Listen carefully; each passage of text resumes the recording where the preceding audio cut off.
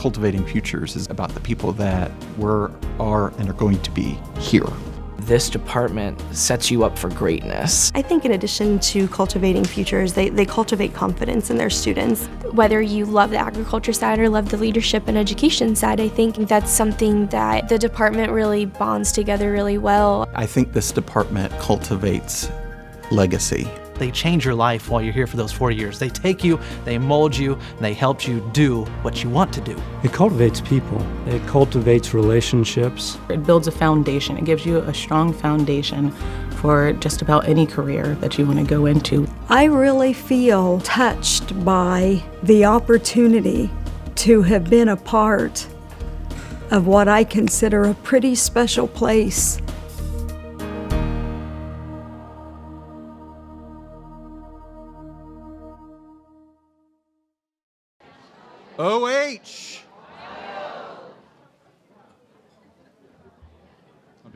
OH.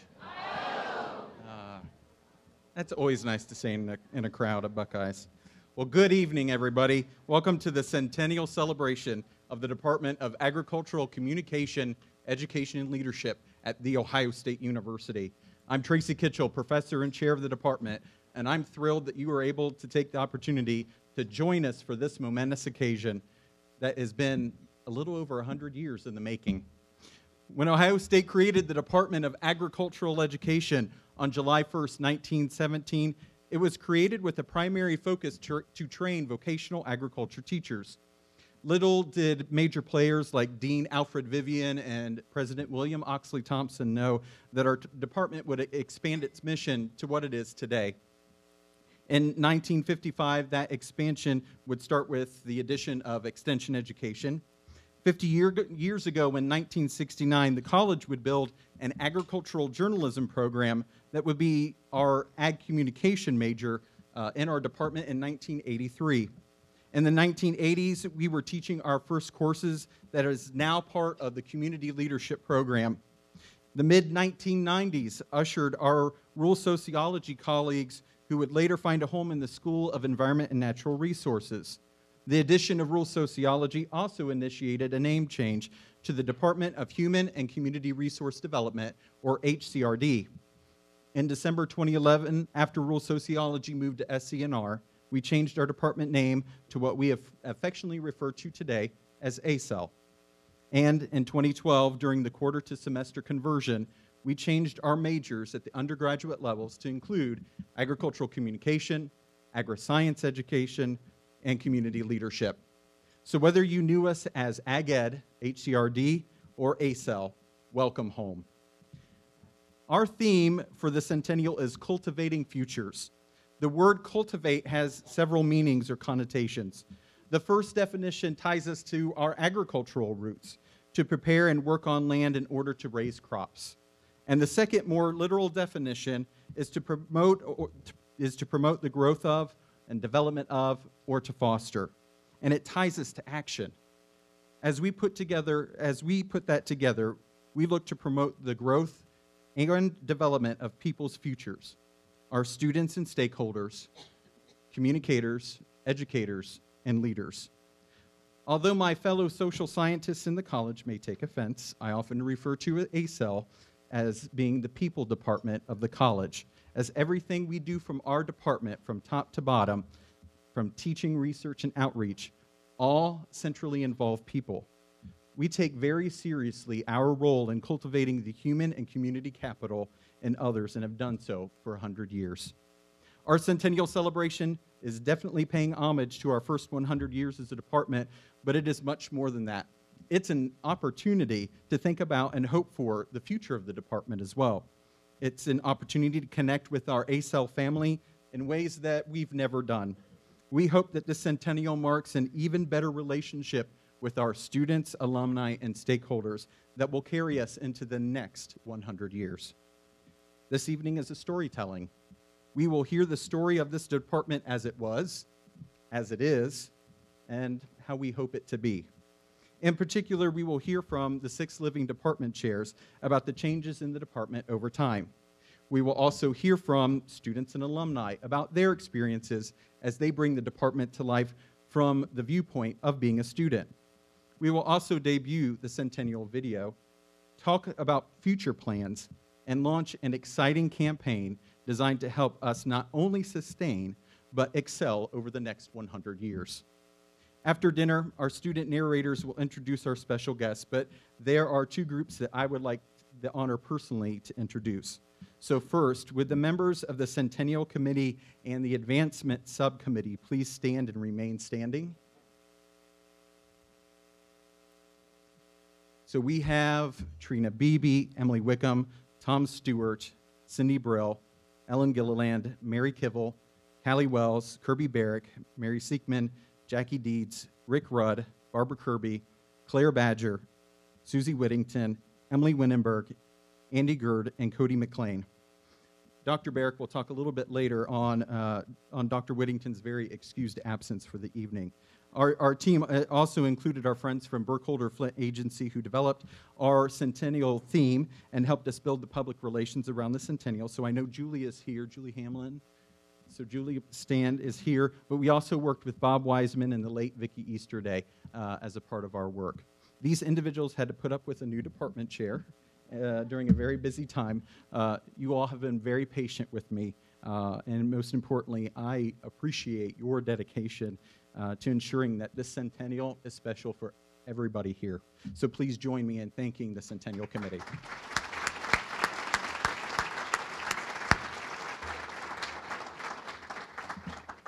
And the second group I would like to recognize is actually our College of Food, Agricultural, and Environmental Sciences as a whole. The college and its administrative team has been very supportive of ACEL. And in relation to this evening, they provided generous funding to help support our year's worth of centennial celebrations. So please join me in thanking Dean Kress, who we'll hear from later, and our college for their support of the centennial. Thank you.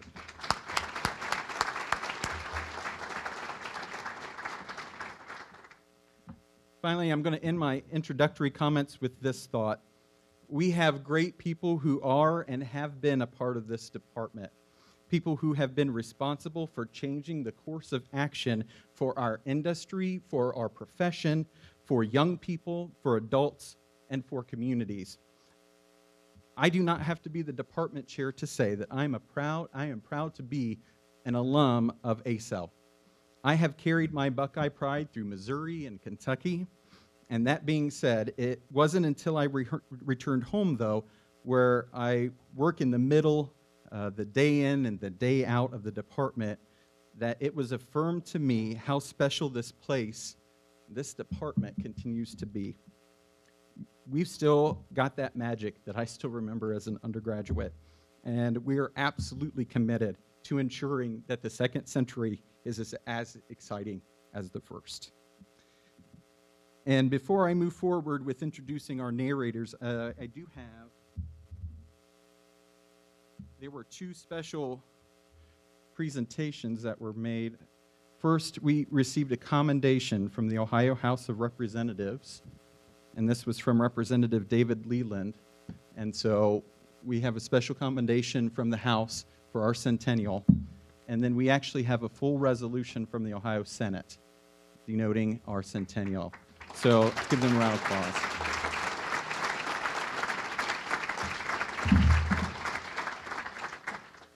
So at this time, I'm going to turn the program over to Brianna.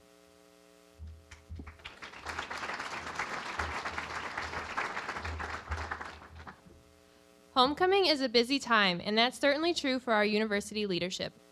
Before he heads to his next event, we have the pleasure to hear from Ohio State's Chief Academic Officer, Dr. Bruce McPheron.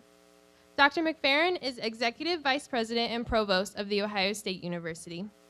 Dr. McPheron's leadership more specifically includes oversight of 15 colleges, five campuses, and more than 7,000 faculty.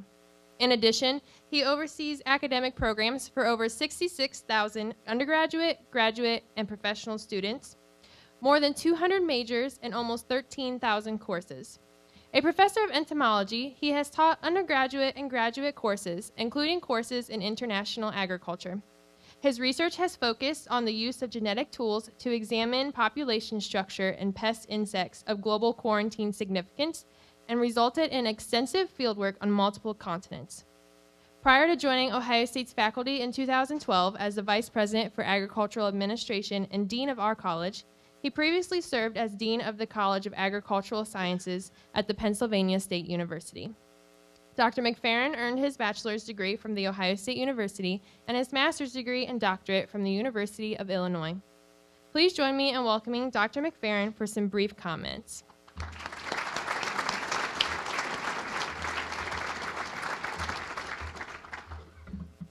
Thank you, Brianna, and good evening, everyone. You know, Tracy, the only thing more fun than saying OH in a group like this is to say it once at that university up north. they don't know quite what to make of it. Actually, they know exactly what to make of it. and they're not necessarily very polite in their response. So uh, maybe it is a joy to say it in, in an environment like this. Wow. Great to be with you. Happy birthday. You don't look a day over 99.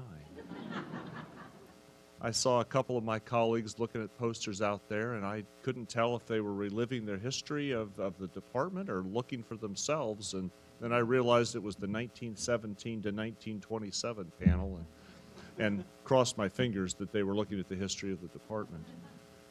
You know, I came back to uh, Penn State five years ago now as dean of this college, and uh, knowing full well that not only the department but the college has undergone a lot of change through time and and uh, a shifting of names, etc.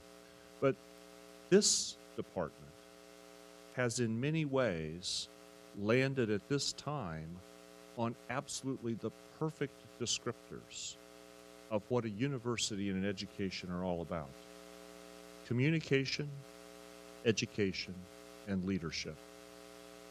We just had a forum last week with our academic leaders from across the university. And wouldn't you know it, at that leadership forum, we talked about communication as the driving importance in a strong education. And here we are back again celebrating a department that, whatever it's been called over the years, has actually always anchored to those principles.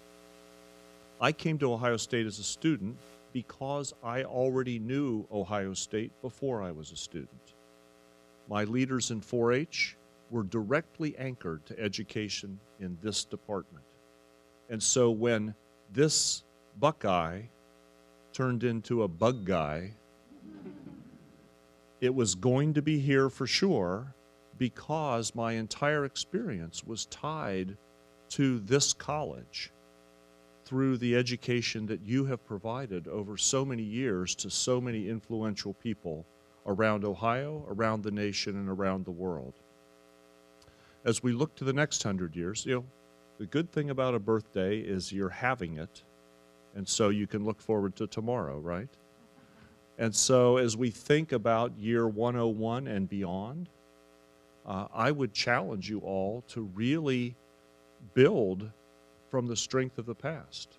Some of you who uh, were here a few years ago, if you wake up in the morning and, you know, kind of feel stiff and sore, it's because we're standing on your shoulders, the better to see the future.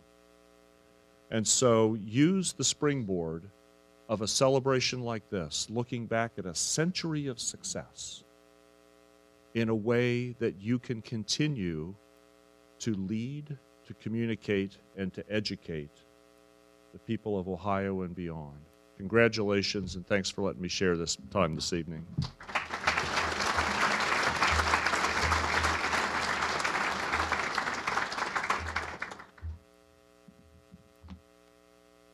It's always a pleasure to have you back home for a college event. Thank you for what you do for our department and every department at Ohio State.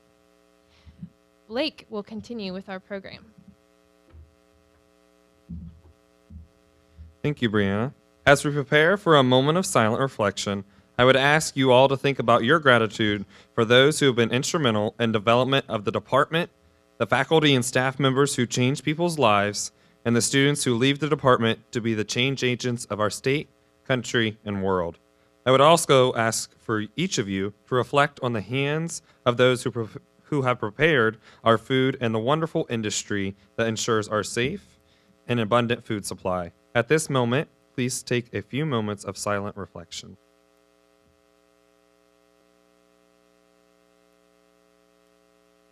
Thank you. At this time, we will now enjoy dinner. You're, everyone's been waiting for this. Your food will be served at your table. Please have a small card out from the registration indicating your meal choice. Enjoy the music from the OSU School of Music, and we'll continue with the program in approximately 30 minutes. Please enjoy. We have 100 years worth of celebrating to pack into one evening, so please continue eating as Justin and I proceed with our program. Before we move on, we need to recognize two groups. We have been enjoying wonderful music during our reception and during our meal, and we are enjoying the wonderful service of the Fawcett Center staff. Please help me in thanking our musicians and our food service staff.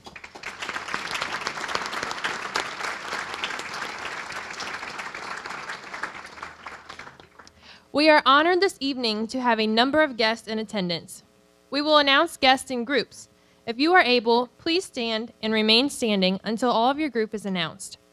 Please hold applause until each group is introduced. We have several of our former, former department chairs in attendance.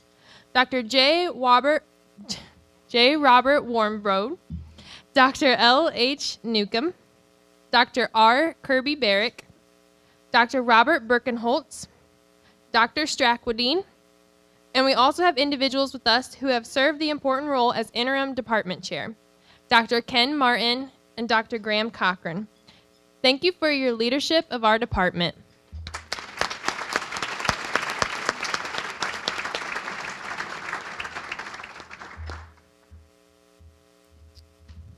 Would the current faculty and staff members of the department please stand and remain standing? Let's give them a round of applause. And remain standing. and now, would former members of the faculty and staff of the department, their spouses or significant others representing a former faculty or staff member, please stand and join our current faculty and staff?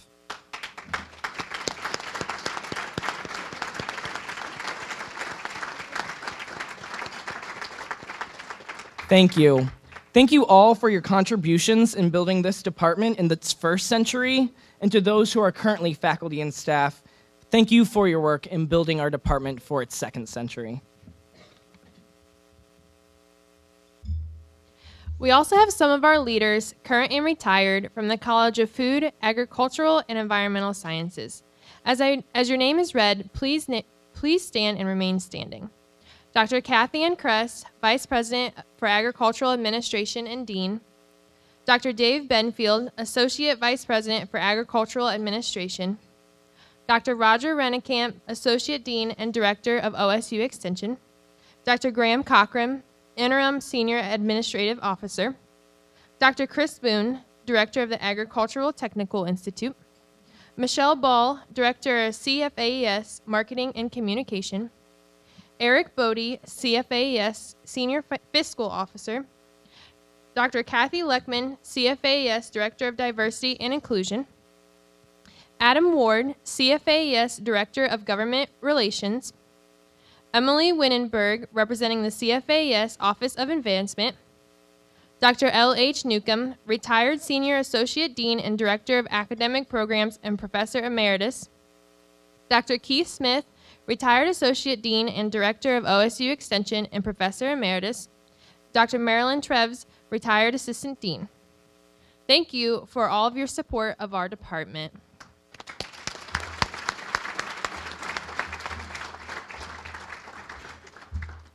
And now, would all of the alumni of the department please stand and remain standing? Some of you are doing this more than once. Now, let's give them a round of applause. Remain standing, though. Yes. Because would any students of the department please stand and join the alumni?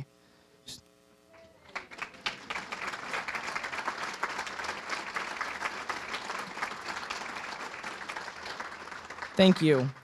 Students are the lifeblood of the department, but more importantly, you are our family. Thank you for your dedication to this department we call home at Ohio State.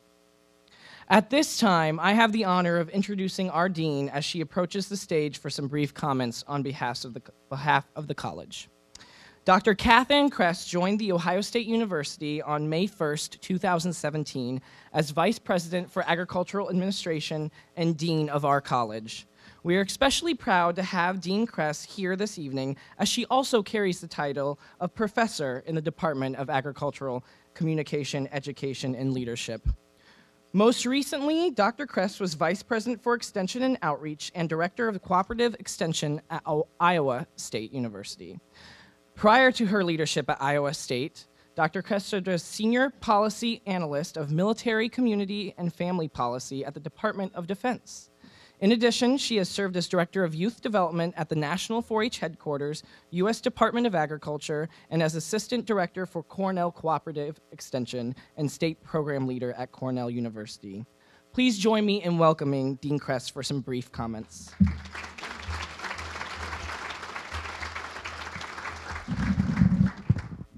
Well, good evening, everybody. It's my pleasure to be able to be here with all of you tonight on such a historic occasion. Uh, and I'm just delighted to be able to bring you all greetings from our college uh, and all of our colleagues there that make up uh, our CFAES community. Uh, this morning, uh, we started the day uh, with me delivering our State of the College address. And as part of that, one of the things that I referred to was our college as the cornerstone college for The Ohio State University. Uh, and that when our university uh, came into being, how important the role of our college was, and of course, in my opinion, still is. When I thought about that, one of the things that occurred to me is how I think about this department, because I'm completely unbiased, as being the cornerstone department, because we recognize how critically important the communication and the education of our next generation of scientists and leaders is. And so I don't think it's much of a stretch to say that. One of the other things that I talked about this morning was I talked about how really what we do as a college community is really kind of simple.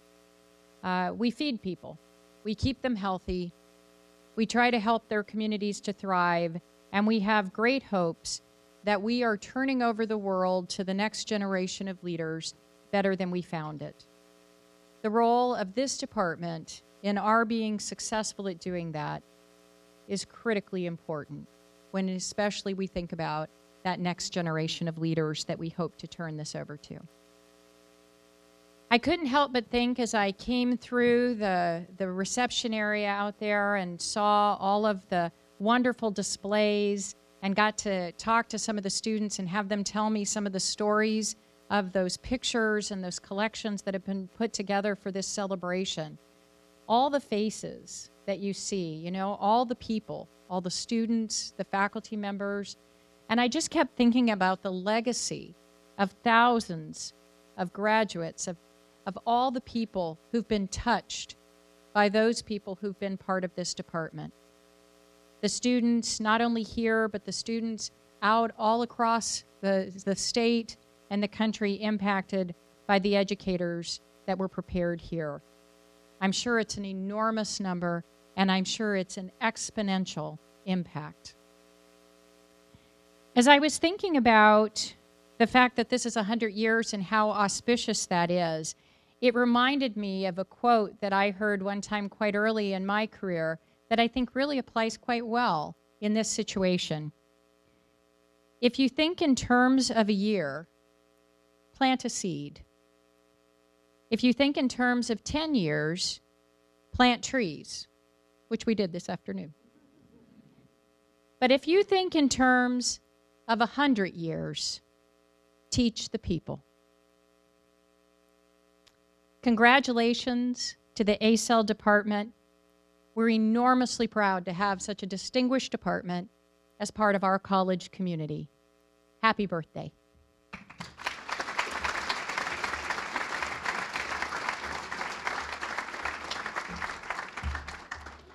Thank you, Dean Kress, for your support of ACEL and for your leadership of our college. At this time, Blake will continue with the introduction of our panel. Would the five former department chairs please make their way to the left of the stage?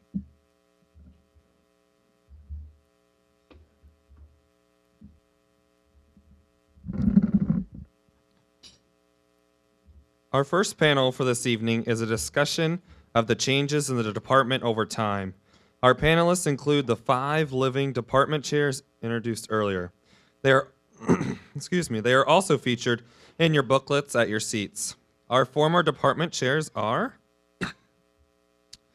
Dr. J. Robert Warmbrod, serving as chair from 1978 to 1986.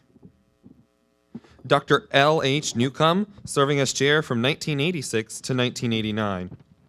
Dr. R. Kirby Barrick, serving as chair from 1989 to 1996.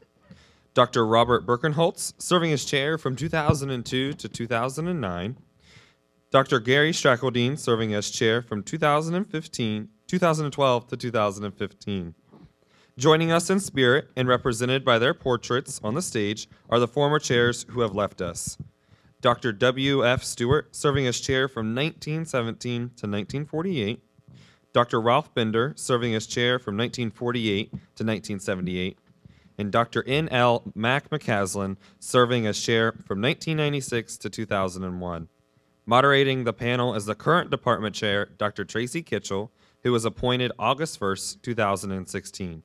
We're going to take the opportunity to talk a little bit about the history of our department from those of us who've had the opportunity to lead it. And so I have a couple of questions that I'm going to ask uh, every chair to answer, and then uh, at that point, I have a couple other questions, um, time permitting, that will open it up to, to this group to, to respond. So uh, that's, that's going to be the order of the day for us. Uh, so we're going to start, start with Dr. Warmbrod. And the first question is, what were the department's biggest accomplishments and struggles while you were department chair? It's interesting that an accomplishment is also a struggle. the um, the major, the first, I guess, accomplishment or issue we had to deal with when uh, I became chair in 1978 the history of this department has had a very stable faculty.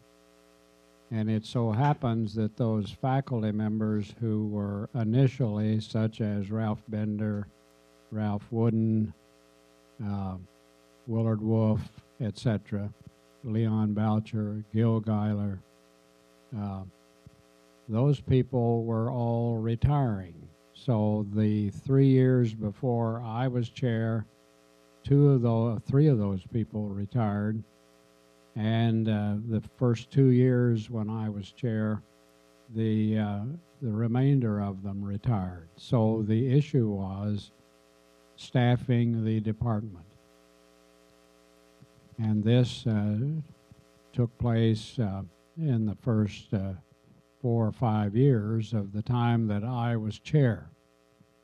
Also, during this time, another challenge was for faculty in general or universities in general, particularly in departments where the faculty had been male white persons.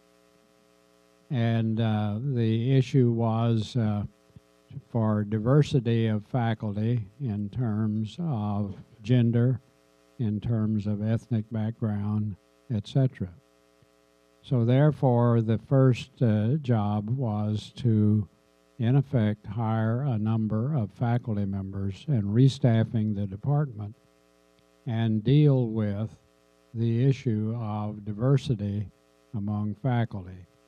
So, that was one of the uh, uh, companion uh, challenge a companion, I think that we did very well in the number of faculty members who were employed uh, and the diversity of those faculty.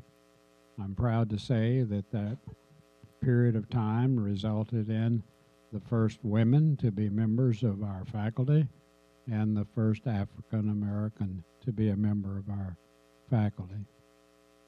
Another challenge and opportunity during that time uh, that we chose to uh, be a challenge was to enhance the research uh, funding and the research uh, dimension of the department's mission. And uh, this had been an area that, due to the organization of the college, we had never had faculty members who were funded by research funds through the Ohio Agricultural Research and Development Center. So we were finally able to begin to break that particular uh, barrier open, and hopefully that has only increased during the year. Dr. Newcomb?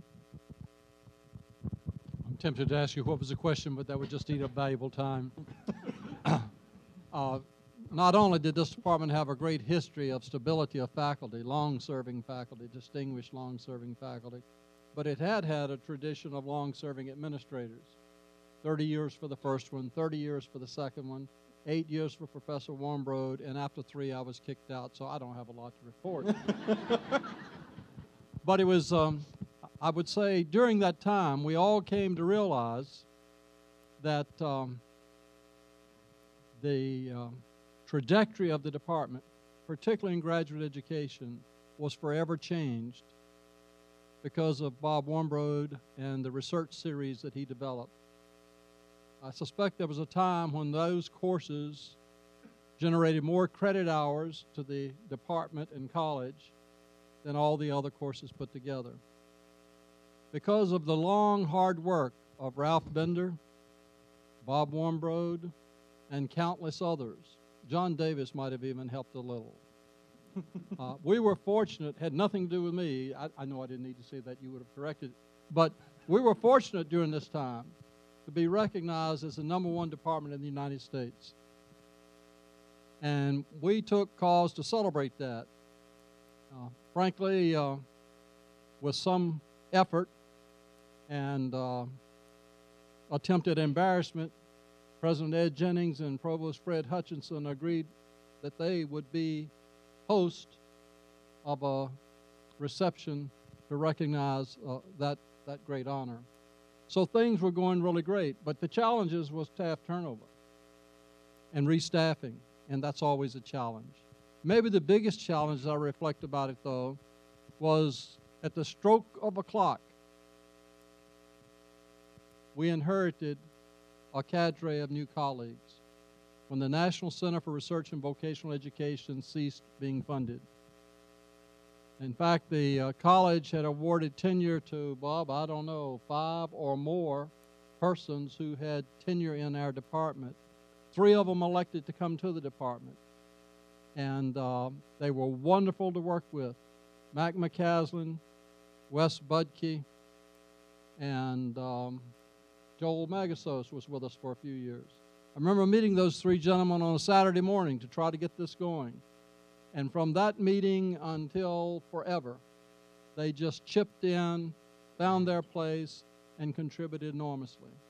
And I'd finally say um, the, the, the greatest accomplishment, maybe, that uh, I was privileged to have was having Kirby Barrick next door. Kirby was an enormous help to me.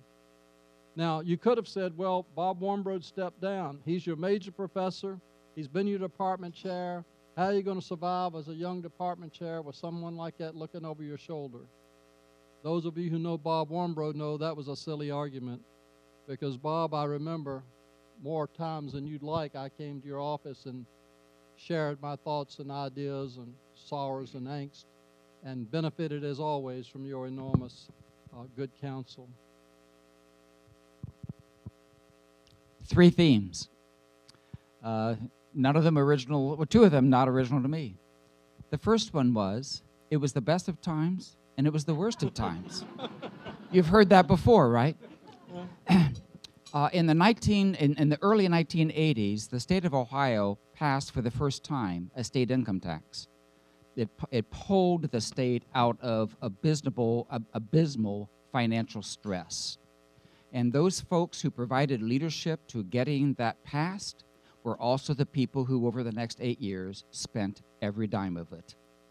So when I became department chair, interim department actually, in 1989, my very first act, it was the first week of August in 1989, as the new department chair, I got to meet with the college administration and sign three pieces of paper to send a lot of money back to them because the state was bankrupt again, and the easiest place to cut funding in a state is higher education because nobody ever notices that, I guess. Well, we noticed that. So they were tough financial times. At that point, uh, George Voinovich was governor of the state of Ohio, uh, the late uh, governor and Senator Voinovich. His, and this is the second quote, we will do more with less. We will, yeah, yes, John Moore, Keith Smith, you're laughing. It wasn't funny then. Yeah. We will do more with less. And that's what the department did. When I became department chair, there was the equivalent of 15 faculty FTE. When I left the chairmanship, seven plus years later, there were 15 faculty FTE. And you go, well, what's wrong with that? Five of those positions were new to the department because of the merger of rural sociology with the former Department of Ag Education. So, in effect, we had gone from 15 faculty to 10. Uh, yes, we got to replace some, but by and large, faculty positions were all taken back by administration, and we had to really lay the case to fill those positions. But we lost a third of the faculty during that tenure. So those were the worst of times. What were the best of times? The faculty that I got to work with. The faculty that I got to work with. Because in that period of time, we really kicked up our international involvement. On average, over those seven years, about 10 faculty and graduate students received outstanding awards from the college, from the university, from national organizations. Uh, we were doing international work and bringing grants in, about a million dollars a year in external funding, and frankly, the department was living off the overhead of, of, uh, outer, uh, of external gifts because that's the only money we had. The state didn't have any. We maintained about 200 undergrads, about 100 graduate students during all of this time. So the best of times were the men and women that I got to work with on a daily basis called the faculty in the Department of Ag Education. They were wonderful people, and they still are, and those really were good times in spite of the third quote, which Rose, there's Rosemarie. I remember Rosemary cutting this out of the Dilbert uh, uh, cartoon because I had said it many times. The reward for good work is more work to be done. and that's what we did in the department, and by golly, the faculty did it. They were great. Well, again, we have a theme going here. Um, I took over the department uh, as, as chair in 2002, uh, followed Mac McCaslin, I guess his picture's over here, uh, in a situation that, that LH explained that uh, the department underwent some experimentation, I think, is again uh, a part of Project Reinvent, which was a Kellogg funded uh, initiative to improve land grant colleges and universities around the country. And again, as many of you know, uh, I guess it was under Kirby's uh, chairmanship role that um, rural sociology came into our department. Um, some of that went well, some of that didn't go so well. So that was one of the struggles that uh, that I worked with over the years that, that I was chair. Uh, and, and so uh, just the, the culture of the department, I think, uh, evolved over that time. And I think, again, from a struggle uh, standpoint, that was an issue that, that I and the faculty, students, I think, uh, worked through that. we did have some success stories, though. So are, are Daniel and Melanie in the room? Are they, are they over here? Uh, we have a marriage that occurred between ag education and rural sociology. So it can work. Uh, we've seen evidence of that. So, again, that's one of our accomplishments. We count, uh, count you two. Um, the other uh, struggle that I would say that I had, and, and again, uh, I think Tracy is going to refute that, that the, the tide has turned.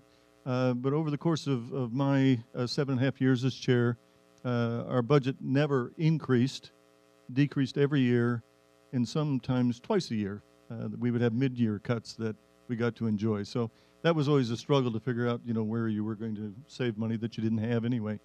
Um, so, you know, some struggles that we had to deal with, obviously, but it was uh, it was an interesting time.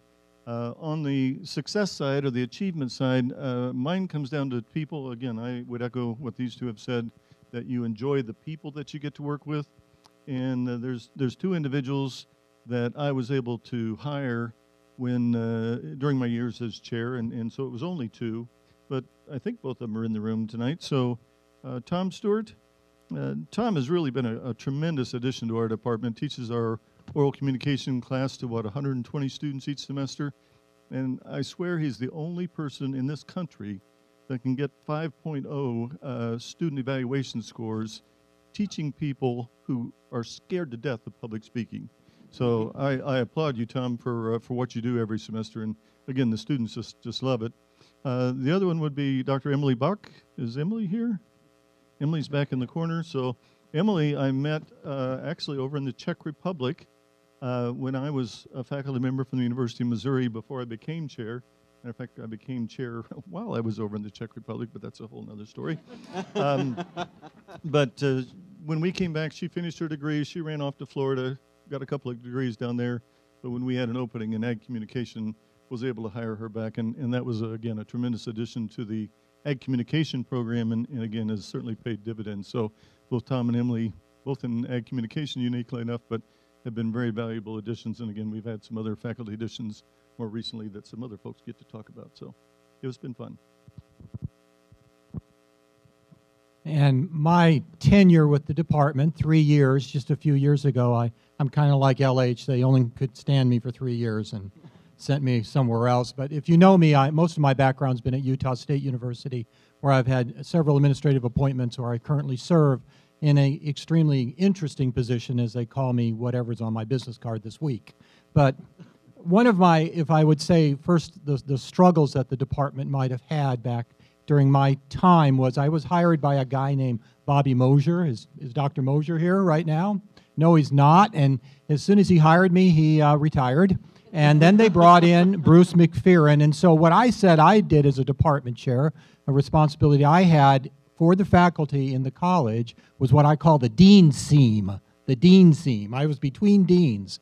I came in under one dean thinking I had him fooled and then he retires on me. And I had a new dean come in who just now is your provost and is gone, so I can say these things. And I spent a lot of time working with Bruce, convincing him of the importance and the prominence of this department. And I think I did a pretty good job seeing that we're still here tonight celebrating. And he was welcome to come see us, and he greeted me warmly. And so it was the dean seam time that I had representing to our faculty to our college administrators and above what this department is and the, the core and the, and the love and the heart and the soul of the place. The other great accomplishment I had is I kept the lights on long enough for Dr. Tracy to join you. So I, I told him that the other day. Um, but those challenges were uh, among the things that we had that we can talk about. They, they were great challenges. Online learning came back into this campus and into in a big way. I'd say Ohio State was a little bit behind the rest of the country, I would say, but with the powerhouse of the Ohio State University, you've delivered an excellent product in your online learning and your in your distance type educational program. That's great. And I was a small part of that with some of you out there, I say that. So, and uh, I can't say enough about the stability of the faculty. That was important for me. I had a mature faculty that I came in to mentor and work with, and I know they've only got more mature out there. Some of them look a little mature like me now, and that's a great thing to have is the stability of a mature and energetic faculty. Yes. I, I might be able to do one more than the dean scene. The dean that hired me was different than the dean that I worked with, which is different than the dean I have now. So I don't know what you call that, but uh, Kathy, and I don't think you and I are going anywhere anytime soon, hopefully. So appreciate that. So we're going to start back with Gary, and we're going to go back this direction. The, the second question that I have is is for you to move beyond the department. Talk about the college and the university. How would you characterize the college and the university during your time as chair? That's, that's easy for me to say. I'm most recent, and many of you have experienced this if you're under the age of 30, and that's the academic powerhouse of The Ohio State University, and therefore the increased entry requirements. We heard it from ag teachers and county agents when I was a department chair. Our kids can't get into your Ohio State because you've raised standards. And we would say, yes, we welcome those standards. And we have a way around those standards with ATI, with branch campuses, but the Ohio State University. That was one of the changes if, in the tenor of when I, they admitted me to the PhD program in 1985 and made some mistakes along the way, Dr. Barrick, and let me out in 87. But I think the academic standards of the Ohio State University show to this day. And that's one of the ways I save reputation. Yeah, I'd say for me, and again, I came in uh, to this university without having any prior knowledge. Matter of fact, I had never been on this campus before I came to interview. Uh, and so that was a very unique experience, just the size and scope of the university being one thing. But the thing that struck me, well, there really two things. Uh, but one thing that really struck me is how much pride uh, the students, and I, think the faculty too, but really the students and the graduates, the alumni, take in this institution and the, in the university itself. So, you know, singing Carmen, Ohio, which we might enjoy later tonight, uh, and just being able to say OHIO and, and take all the pictures and, and all that stuff. Um, you know, I spent some time at Iowa State University, spent some time at the University of Missouri. They were proud of those institutions, but you just got a, a, a ratcheted, much higher level of pride and and invigoration, I guess, into this university. So I think that's one thing that I, I really noticed. Um, and then I'd have to mention football. Um, I spent 17 years at the University of Missouri when they were just not very good. Um, I think we might have went to two bowl games in that time. I got here on January 1st of 2001. We went through a season with uh, what Jim Tressel and Craig Krenzel as the quarterback, uh, which was kind of a miracle season. But in January of, of 2003, then it was, so we defeated the University of Miami in the Fiesta Bowl in Tempe, Arizona, and I was able to go to that game with my wife and to sit in the stands and just feel the enthusiasm of, of literally the whole university around that experience was something I'll never forget. And again, I think it just really kind of epitomizes what Ohio State means to so many people. And Florida still hates Urban Meyer. I get so tired of that. I, I need to tell a quick story about Dr. Warmbrod.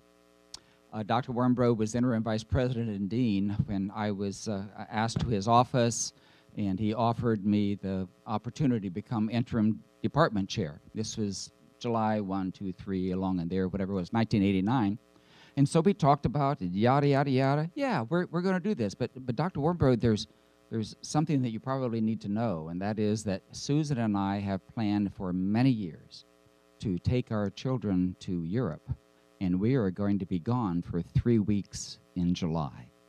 And Dr. Warmbrod said it's the only time that he has ever said this because it's the only time he needed to. I hadn't planned on that. now, we all know that Dr. Warmbrod planned on everything and crossed T's and dotted I's, but I threw him for a loop that day, so we just decided, ah, I, LH can still do both the interim associate dean and department chair for a month, and I started August 1. um, and the concept really is the administration of, of the whole agricultural enterprise, and, and, not only in the university, but also in the, in the Ohio Department of Education. Uh, when, when you have uh, you know associate deans who are tenured in your own department, L.H. Newcomb, Keith Smith. Keith and I started on the very same day at Ohio State, July 1 of 1980. Uh, Bobby uh, Bobby Moser was you know, you know he was a pig science guy, but he really got the, the, the teaching and learning and the people side of, of what we were doing.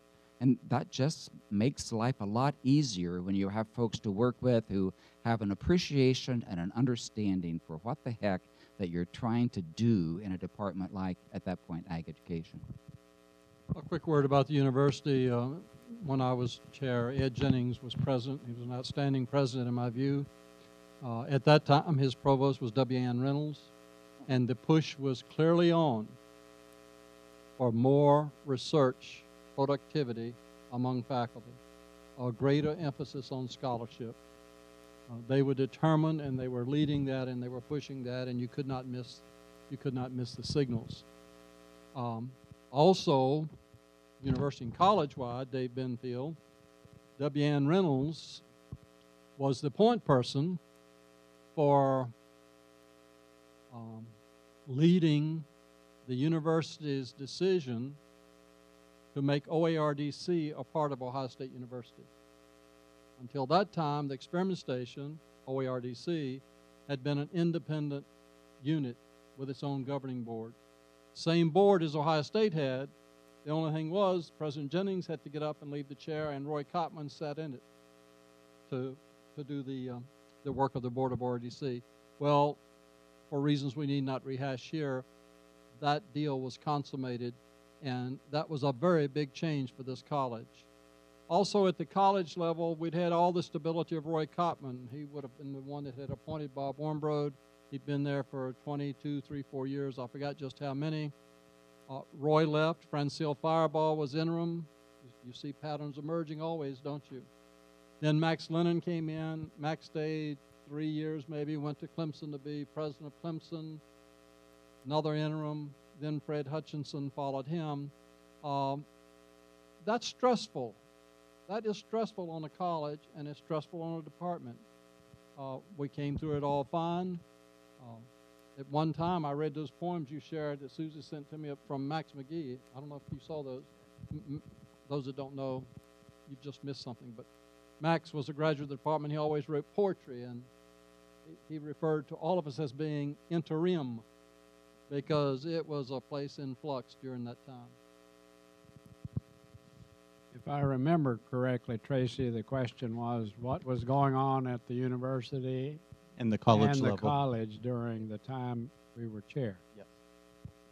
During the time I was chair is when basically the university under Ed Jennings' leadership went from an open admission university to uh, selective admissions. So that was uh, noted with some apprehension in a lot of places, including the student body and the students we would get. So that would be one of the, I, as has been indicated here, one of the major changes in the university. I would say another major change, uh, um, which happened basically after I was chair, was when Gordon Gee arrived and had this deal about uh, uh, we need to reorganize the university and we need to rearrange things and we probably need to get rid of some programs and make for others. And so the College of Agriculture under Bobby Moser's leadership immediately got on the reorganization uh, uh, bent. Uh, and a result of that was what has been referred to here uh, by several of my fellow former chairs the merging into the Department of Agricultural Education the rural sociology faculty who were in the Department of Agricultural Economics. And I think you've heard enough comments as to that did make a difference. So I'm going to uh, I'm going to ask this question, open it up to, to anybody at this point. As you as you look at the 100 year history of the department, what do you think were the most influential incidences, either internal in the department or external, that shaped the trajectory of the department?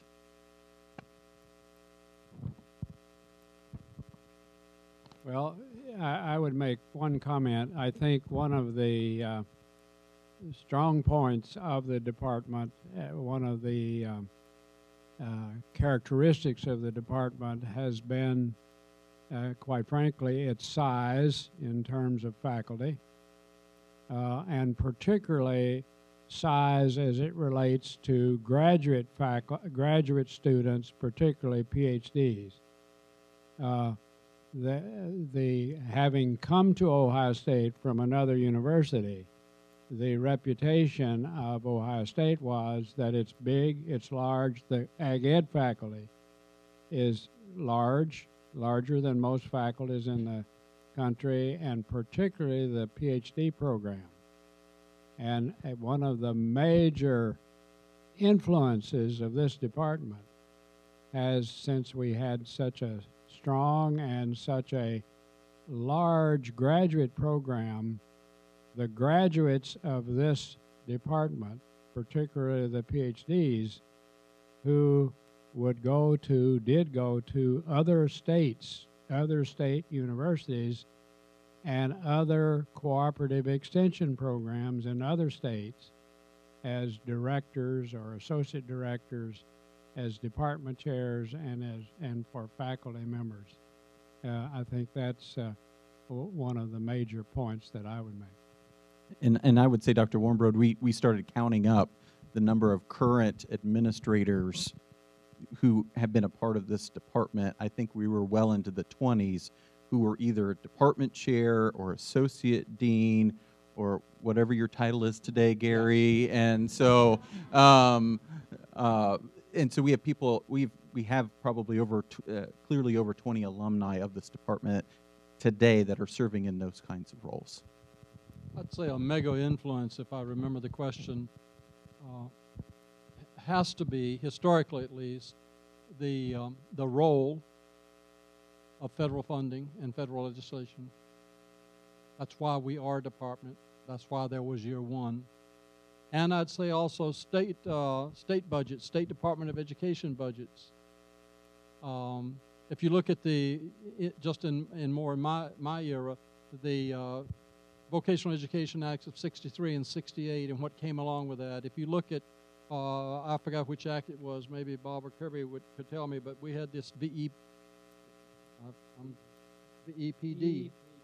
Yeah, the, they, there were states that could uh, provide funding for a student to get a doctoral degree, and, and that really boosted graduate enrollment here.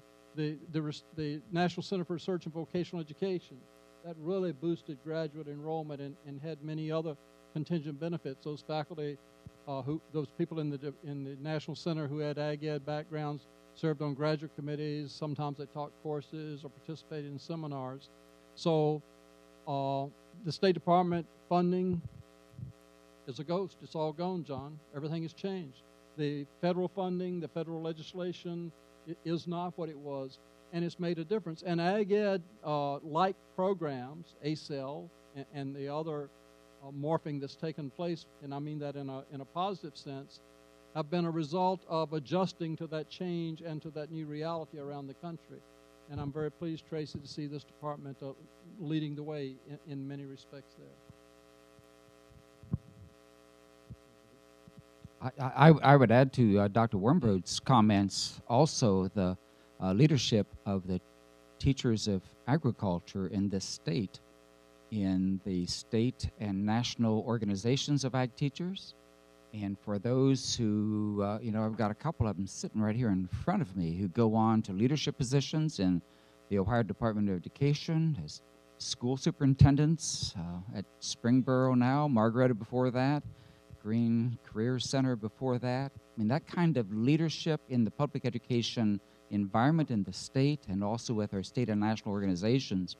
Then the, then the other part, and this is a, a bit adrift of, I think, where, where you were asking, but I, I have. Um, I have continued to participate in the in the Ag Ed Teacher Ed Professional Organization (AAAE) uh, and, and listening to research papers. And um, we've already said some things about the research series, but when we see the students of this department, Bob, who were in 885, 886, 887, 888, 995, or at least some portion of that, and I see their presentations, and I see the presentations of their students at wherever they are now at a university, and now because I'm so dang old, the presentations of their students' students, because it is always impeccably done research and they understand what research methodology and design is, they understand data analysis, they understand quantitative methodology, and I know where it all came from. And it came from those kinds of courses that Bob and Clarence started a couple years back. So I should have went ahead of you because that's what I was going to say. Uh, um, but in, in addition to that, and again, coming from the outside and, and not having the benefit of those uh, it made a tremendous difference in the quality of research across the whole profession. I think when the pre-sessions, and I can't remember was AATEA then or AAAE, whatever the acronym was, but several years in a row, uh, faculty from Ohio State University would run a pre-session at our professional conference, and they would be attended by what, 40, 50, 60 uh, faculty, graduate students, but it was it was basically trying to teach in a very condensed format what they taught in in those research series courses. So I think that has had a tremendous impact not only on the program directly, but but even more broadly on the whole profession. And then again, you take into the consideration that the graduates of this institution, when they go out to faculty positions, have um, reflected those same courses or developed similar courses. Uh, it, the ripple effect just just uh, takes over in many ways. There's one other thing that I think really made a difference, and, and LH was involved with this, but it was the uh, distance delivery of the college teaching improvement series. Uh, that for was it one year or two years? I can't remember how many years it was done, but there was, I don't know. I, I know University of Missouri had a site that that the program was downloaded to, and the whole focus was on teaching improvement.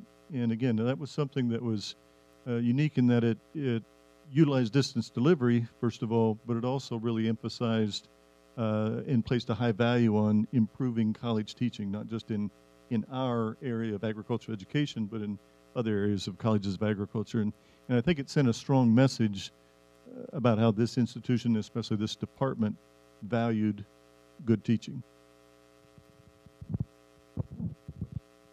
My, my final question for the night is as you think about the alumni that you've had the opportunity to work with in this department, um, who, who were some of those alumni who you feel shaped the field in ag education, extension education, the industry, um, university? Who, who were some of those alums? What, what have they done to be real change agents for our field, for our profession, for our industry?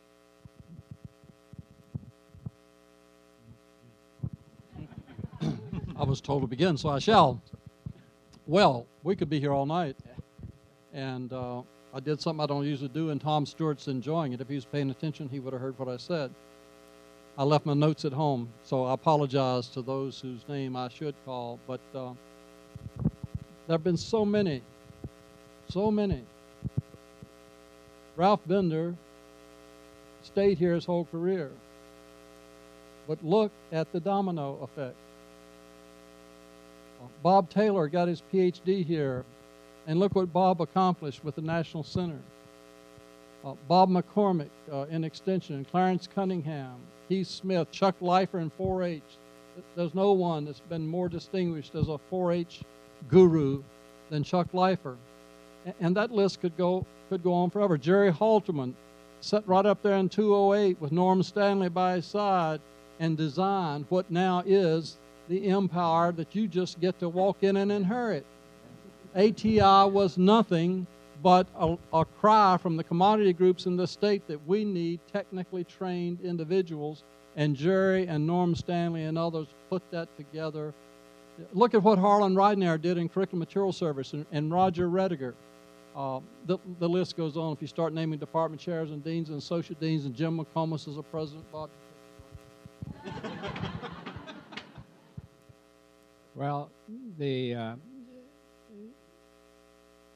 his response, our response to to uh, Tracy's question, if we start talking about people, we're going to forget some people, some very important people. And um, earlier this week, I took a look at uh, a uh, publication that Mac and I did, which is a a, a list of uh, of the PhD graduates from the first two graduates in 1938 through the year 2000. And that was a total of 405 PhD degrees being uh, offered or being earned. They weren't offered, they were earned. Uh, and uh, I began to go through the list and I ran out of time of how many of those persons have been university presidents. The first PhD earned at Ohio State was a person by the name of O.C. Aderhold from University of Georgia, who was about a 20-year president of the University of Georgia. And there have been other graduates who are university presidents. And uh, so uh, uh, to name them all, obviously I would forget some, and so I will not even attempt. But, but including international students who are either now or have been presidents of colleges in their universities. So I think a very good uh, activity for a graduate student who needs a project for some special occasion. Take a look at our graduates uh, who have been uh, in higher education at other universities for, a, a, in any position, and I think you'll find a, a, large number, and I think you'll find a large uh, uh variety of positions. It occurs to me that another hallmark, I think, and Bob, if I've got this wrong, you'll surely help me here. Uh, I think this department has um, perhaps some singular distinction for its reputation of reaching out, uh, cultivating, and uh, mentoring and graduating minority doctoral students. You know, we heard uh, Eddie Moore today, I think, mention Marvin Field at Virginia State College. Marvin was a graduate here, and, and Bob would know better. And it was long before Bob got here, too, I think, that this place and this College of Education did the same thing was a pioneer in, in providing the kind of environment and the kind of commitment uh, that it took to make breakthroughs there. Ditto, ditto, and amen. I, I would, I, I, agree with all that you've said, but I, I think there's um, some individuals that didn't get mentioned, and partly because of where they're sitting. I think, um, honestly, as as I look across the the history that I've been involved in ag education since, you know, the mid 80s, I guess.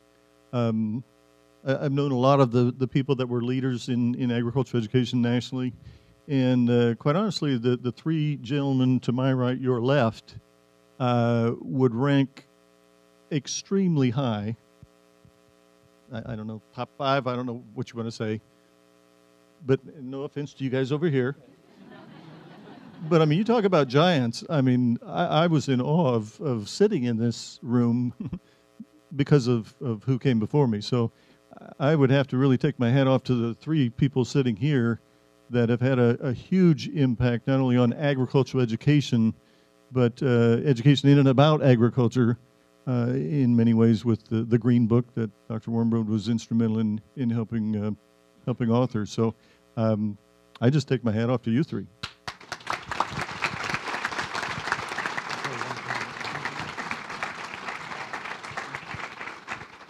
the la last thing I would add is the people that I cannot mention but have been high school teachers for 30 or 40 years, or county agents for 30 or 40 years, who have taken their bachelor's degree or perhaps their master's degree and worked in the everyday of agriculture extension education. I think that's so important that we, we have great giants up here and we honor and respect, and I don't belong up here at all, but I want to call out or shout out to those that are the teachers that we have turned out and the agents we have turned out and the agricultural leaders in industry that go unnamed but show up to work every day as a Buckeye, as a graduate of this department. And I think that's important for us to mention too for our 100 years.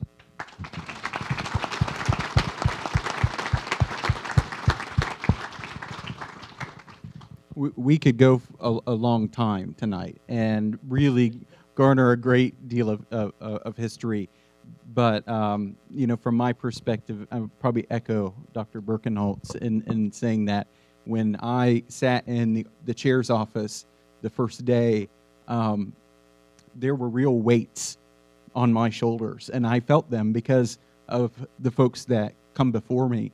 And uh, I, I think one of the legacies of this department has been the leadership of this department, and so we are we are really blessed to have had such wonderful leadership in and the folks that are here, th- those who served in interim roles during that time, during important transitions. And so um, I really appreciate what you've done to make sure that, that we're having a great celebration tonight because of you all, your leadership, and then, of course, the, the faculty, staff, and students that you had the opportunity to lead. Please join me in thanking our department chairs for joining us this evening.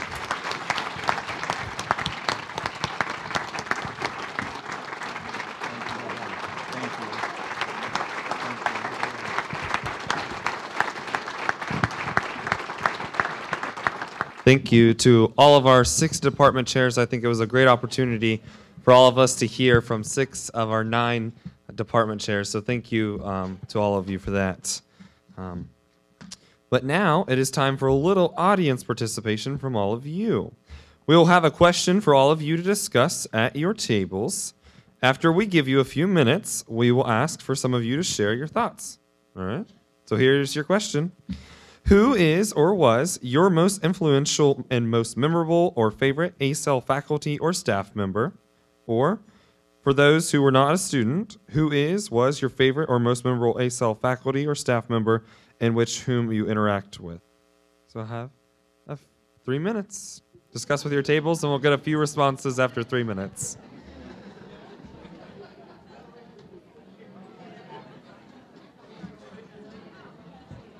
Okay, so uh, probably my most influential um, faculty member uh, was sitting next to me, and and what a great honor that was, Jan Henderson. Um, Jan exposed me to my first feminist literature. Um, Jan showed me that, yeah, whoop whoop, that's what I'm talking about, girl. Um, she helped me understand you can teach a little differently than some of the other folks in the department and be very effective. Uh, she helped me understand that as a female, I had a place. And I really appreciated that because it, it wasn't, there wasn't a lot of us. And so uh, to see a female faculty member who was so very welcoming, uh, not only to women, um, but also international students. And I just, I can't tell you how much of a difference that made. And, and Emma Lou, too, who's not here tonight. Uh, but, but thank you, Jan.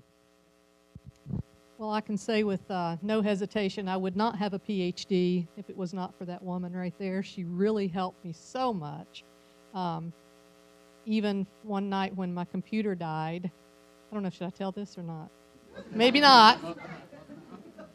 I kind of needed to finish this up. It was kind of important timing here, and my computer at home died. I called her, oh my gosh, what am I going to do? She met me. We kind of broke into the Ag Admin building, went and got the computer. I took it home. I finished up everything. Yes, I'll admit it. That's what we did. We broke the law, but thank you so much. you could count on this woman. I've stayed in contact with her ever since. Um, I just can't say enough about her. And you have. Yes. Um, again, uh, not that we wanted, wanted to embarrass or put uh, Jen on the spot, uh, but it was, it was a fact. Uh, during my time in the, school, in the, in the, in the, department, we have, I believe, more international students than as maybe compared now, compared to now. At that time, it was almost a common saying within us, the international students, that if you have not taken Jen's class, you were in trouble. because his class will, among other things, boost you, encourage you, give you more focus as you pursue your courses in education. So Jen was instrumental in nurturing. She wasn't the only one, but at least uh, at that time, she was one of those that actually nurtured the Awesome. Thank you. Do we have someone from over on this side that would like to share? Yes, we do.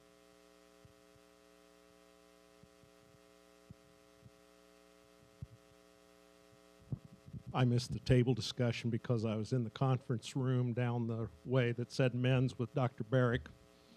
But uh, in the 80s, we had the great fortune, and I can't just name one, but we had the great fortune in the 1980s. If we wanted to be teachers, we had to run a gauntlet of greatness that went through Knight, Newcomb, and, and uh, Hedges. Well, we had uh, both older alums and younger al- alums here. And the two younger alums I thought were both undergraduates. Turns out they're both teachers. But anyway, I'll, I'll give you the names mentioned. Two deceased, one Harlan Ridenour, one Mac McCaslin, and then two who are still with us, fortunately, Bob Warmbrod, and he was mentioned for making statistics and research alive and interesting and understandable. L.H. Newcomb because he was real, he was authentic, he was passionate, and a butt kicker. It was a little difficult having actual two faculty members at the table, so we had to dismiss them slightly. but um, I talked a little bit about, for me personally, was Dr. Bobby Moser. And um, that was my buddy just because my maiden name is actually Moser. And so I would call him Uncle Bobby. And he obliged, and it was a lot of fun. and, but outside of that, um, Dr. Newcomb, just because he would always crash the manners dinners at Dean Moser's house, and that was always a lot of fun, and you were always the life of the party. But then also um, Dr. Cano, and just being able to work with each individual student, while it wasn't my favorite class, uh, he was always a great teacher, and that was something that our and other students said as well. All right, thank you. Let's give everyone a round of applause there.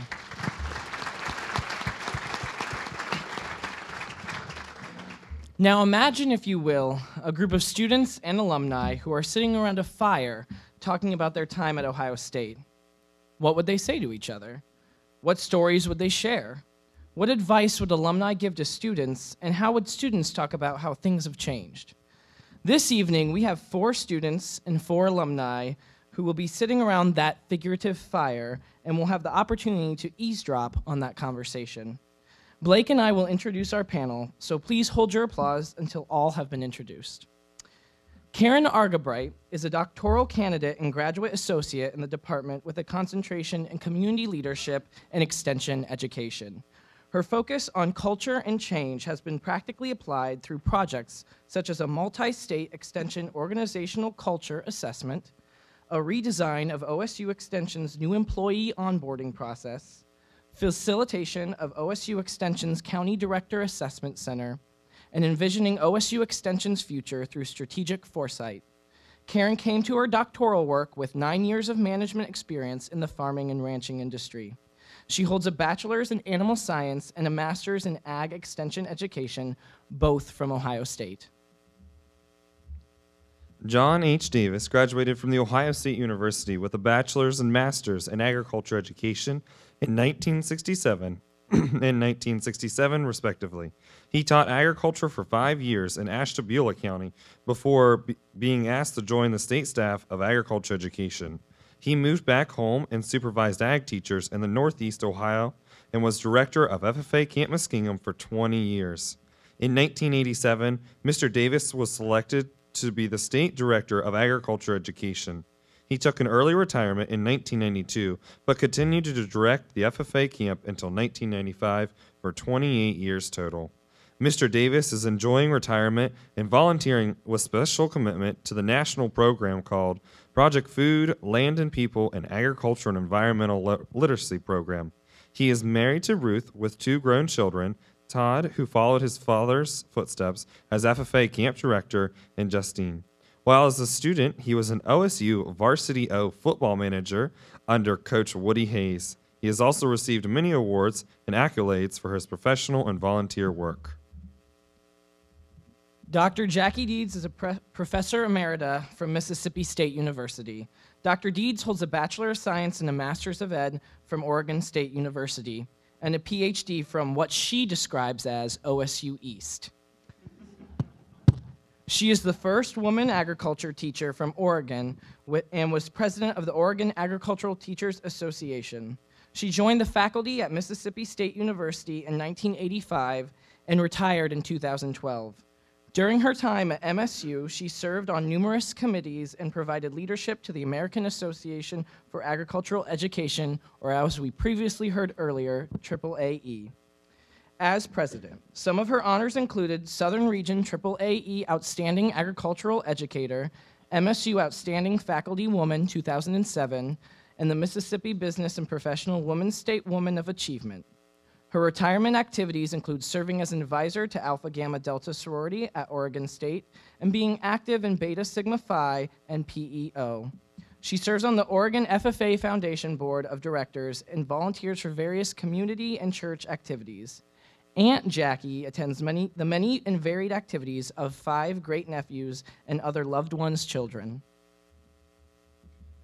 Pat Petzel has worked in the area of agriculture communication and public relations since 1992 after receiving a degree in agricultural communication from The Ohio State University. During college, Pat worked for the American Quarter Horse Association in Amarillo, Texas, where she was a writer for the Quarter Horse Journal. In 2000, Pat completed a master's degree from o- Ohio University's E.W. Scripps School of Journalism. In her early role at Ohio Farm Bureau, Pat directed the organization's efforts to increase awareness and the understanding of Ohio agriculture. In 2009, Pat was named the Vice President of Communications for Ohio Farm Bureau, where she leads the organization's communications efforts. Pat resides in Grove City, but recently took a farming plunge by purchasing a small farm in Ross County next to her family's farm. Abby Motter is a junior honors student majoring in agri-science education from Mansfield, Ohio. She's involved with Ohio Staters Incorporated, Agricultural Education Society, the CFAES Ambassador Team, and the Edward S. Beanie Drake Board of Directors. She is serving as a national FFA facilitator and is conducting undergraduate research. After graduation, Abby hopes to work as an agricultural educator before furthering her education with the goal of eventually instructing at the university level and working with international agricultural education programs. Dan Traer is the current superintendent of Springboro Schools. He has served as superintendent for Margaretta Local Schools and for Greene County Career Center. In addition to other administrative roles, he was an agriculture teacher at London City Schools. Dan's agriculture education de- degrees include a bachelor's degree in 1993 and a master's degree in 1999. As an undergraduate student, Dan was involved in Agate Society, Alpha Zeta Fraternity, Sphinx Senior Honorary, and Ohio Staters Incorporated. Dan is actively involved in his community and has been honored to receive awards such as the Ohio ACTE Administrator of the Year Award and Ohio, State, Ohio State's Meritorious Service to Students Award. Dan is married to Kim and where they have four children and three grandchildren. Katarina Sharp is a fourth year agricultural communication student from Stoutsville, Ohio, in Fairfield County. She is double minoring in animal sciences and professional writing. She has been on two study abroad trips and has been a member of the Agricultural Communicators of Tomorrow Club for four years, where she currently serves as the Public Relations Chair. Kat is the third generation of the Sharp family to attend Ohio State and be a student of this department. After college, she hopes to find a job in the agricultural industry that will allow her to write, design, and share information about agriculture with the public. Mariah Stoller is a senior from Marietta, Ohio, studying community leadership with a specialization in community and extension education. She currently serves as the president of Alpha Sigma Upsilon sorority and as a peer mentor for freshmen in the college. She has also conducted undergraduate research with the department through projects on the vice president's conversation of the future of extension and CFAES peer mentoring program. In addition to these involvements, Mariah works for the OSU Extension State Community Development Office and volunteers with the St. Thomas More Newman Center. After graduation, Mariah plans to pursue a master's in community and extension education and eventually work in extension administration. Please help me in welcoming our students and alumni for our panel.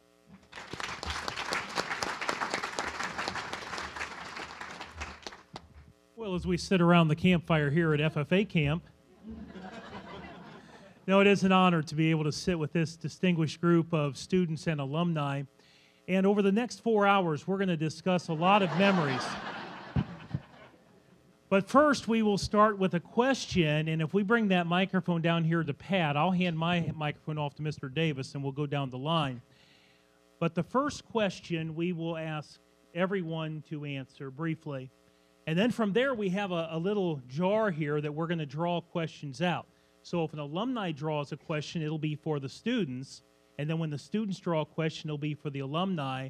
And some questions may be answered by everyone, some may be answered by one or two. It depends upon how the Spirit moves this group up here. So, our first question that will start with Mr. Davis Why did you choose Ohio State and this department? Well, it all started with uh, a VOAG teacher, Welch Barnett. I don't know if there's anybody in here that knew Welch Barnett, but he was my freshman ag teacher. And uh, I had a lot of respect for him. He had high expectations, and he inspected to make sure I did it, and I respect that person. And when I became a state supervisor, I tried to get that philosophy across to teachers. Expect it and then inspect for it. That's where a lot of people don't do. They don't do the inspection part. And uh, that's really helped. But my granddad, I worked for him when I was in high school, and he wanted me to be an engineer. So I, he passed away, and I came down here first quarter to be an engineer. Well, when I was down for orientation, I uh, was at the Ohio Union, and here a guy run through the Ohio Union, and here I showed sheep with him at uh, our county fair. But he was in a school district that was in another county, and uh, that's the only time I saw the guy. I was at the county fair. I showed sheep against him. So I was at the right place at the right time because I asked him. I said, "What are you doing down here at this time?" He says, "Well, I'm the head football uh, head football manager with Woody." And I said, "Well, boy, that that's something. I didn't know you did that." And he says, "Yeah, and I need some help. You want to help?" And I said, "Where do I have to be?" so 2:30 the next day, I was on the field, uh, and that was being at the right place at the right time. And uh, so after that, I hadn't taken physics in high school because I had two classes of OA. So I had to take physics down here. Well, with physics and not really being that much interested, I decided in football, I want to go somewhere that they like me. And I decided to go to agriculture. I come over to ag education second quarter, and that's how I got here. Well, my story, I think, is probably similar to many of you, where it doesn't feel like I chose Ohio State. Sometimes I feel like it was chosen for me because when you come from a family, uh, and that's the tradition, um, it- it's really not a choice of if you're going to college. Of course, you're going to college, so it's expectations, like John said. But then uh, when you're in the orbit of Ohio State, it's uh, it's assumed that that's of course you're going to Ohio State. So uh, I didn't disagree with that. So it was a great choice, and and uh, the, the question is, you know, how did you find a major? Because you know, it's always that that first year is where do you fit, and what what do you want to do with your time at Ohio State? And again, just as John said, right place, right conversation at the right time. It was uh, a, a meeting with uh, Kirk Paulson, who was uh, would become my advisor. But it was just a, one of those one of those meetings where you know you're matching. Um, uh, you, you feel like you fit and you feel like wow this is this is an area where i can combine what i enjoy doing and somebody's saying hey you're pretty good at this and they recognize some talent and it just gives you that little nudge that little bit of confidence that you need to take the next step and i'll forever be grateful for that first of all, I want to object because this was not on the list of questions that I received, uh, which is sort of like life, isn't it? Um, you know, we say it all started with an ag teacher, and that was the case for me. I um, started taking high school agriculture back when girls weren't allowed, and um, my they had started the ag program at my high school, and the ag teacher, being very astute, as I learned later in classes, came and asked my dad, who was on the school board and had a logging company, if he would be on his advisory committee. And then he looked at me and said, You should take ag.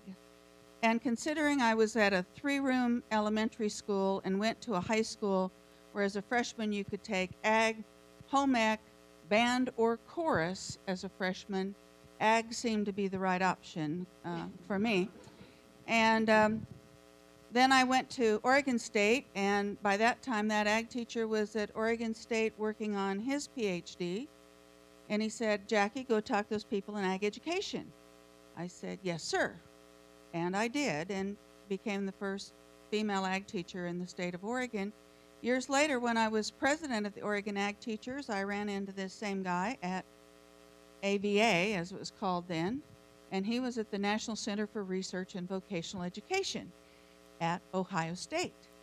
And some of you old folks will remember Dan Dunham. And Dan said, It's time for you to get your PhD. And I said, Yes, sir. And he said, Come to Ohio State. Sue and I and the kids will be there. You'll have a built in family. And by that time, by the time I got here, he had moved back to Oregon. But um, I, I don't know if there's a, a connection there. But what I, what I do know, what kept me here was family. Not that I had family here, but the fact that people became family. Um, when I moved here, I had a truck that I had driven across country with all my worldly possessions, and I was given a phone number, and it says, When you find an apartment and you're ready to move, call this number. And I did, and it was uh, George Wardlow. And I think he and Stacy Garton maybe went, and Stacy's here, got my rental truck and drove it to my apartment.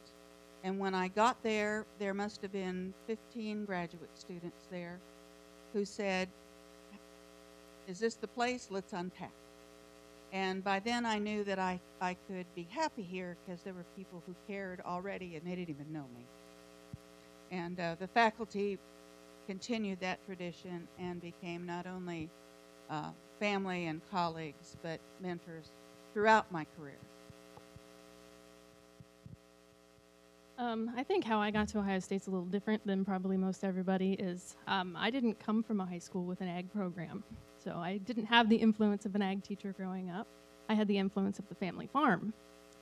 Um, so I came to Ohio State. To me, there was no other option, mainly because my family said I couldn't do it. So I went to do it. And turns out, ultimately, um, they were right because my my career in at Ohio State has been somewhat transversed here.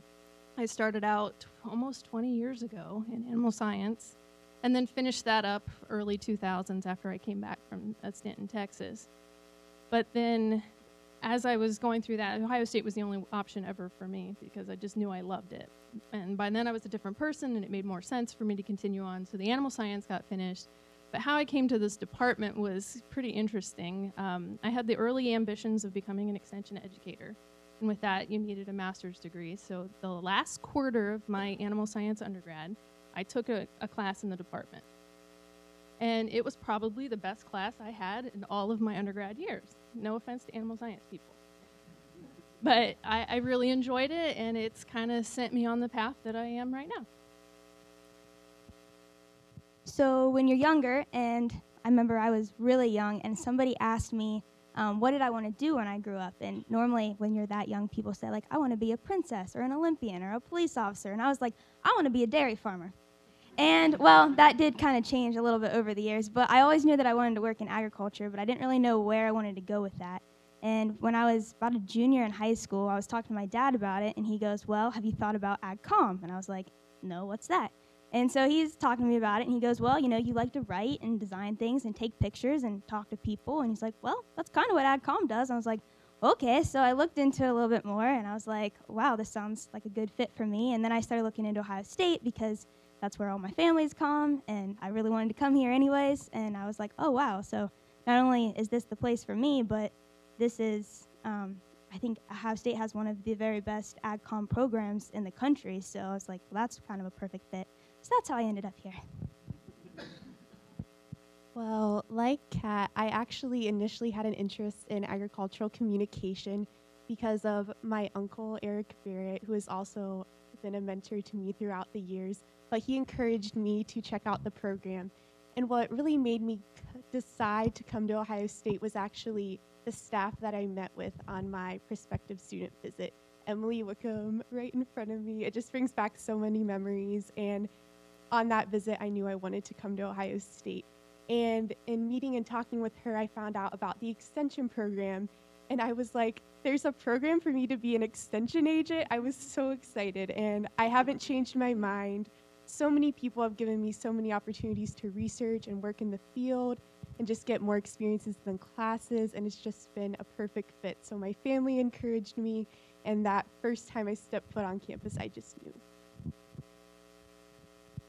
As almost every pre service agriculture educator can tell you, the positive influence from your own ag teacher in high school is one of the biggest factors that encourages you to go after this major. And the story is no different for me.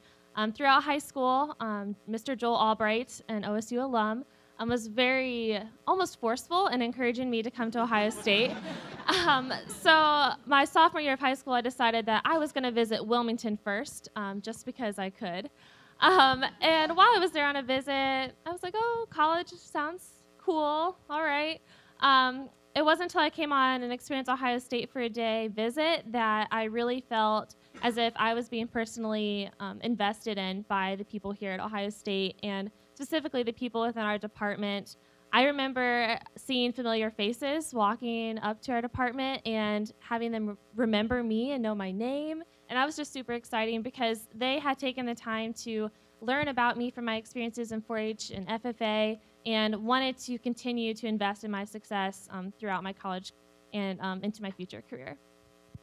One thing I'd like to share uh, I was poor whenever I was in high school, but I didn't really know it. But I do now because my dad never made more than $2,000 a year, and there was six in the family, six uh, siblings, and I was the oldest. And it hadn't been for VOAG, I would have never got more than 30 miles away from home because that's the only place I knew was 30 miles around.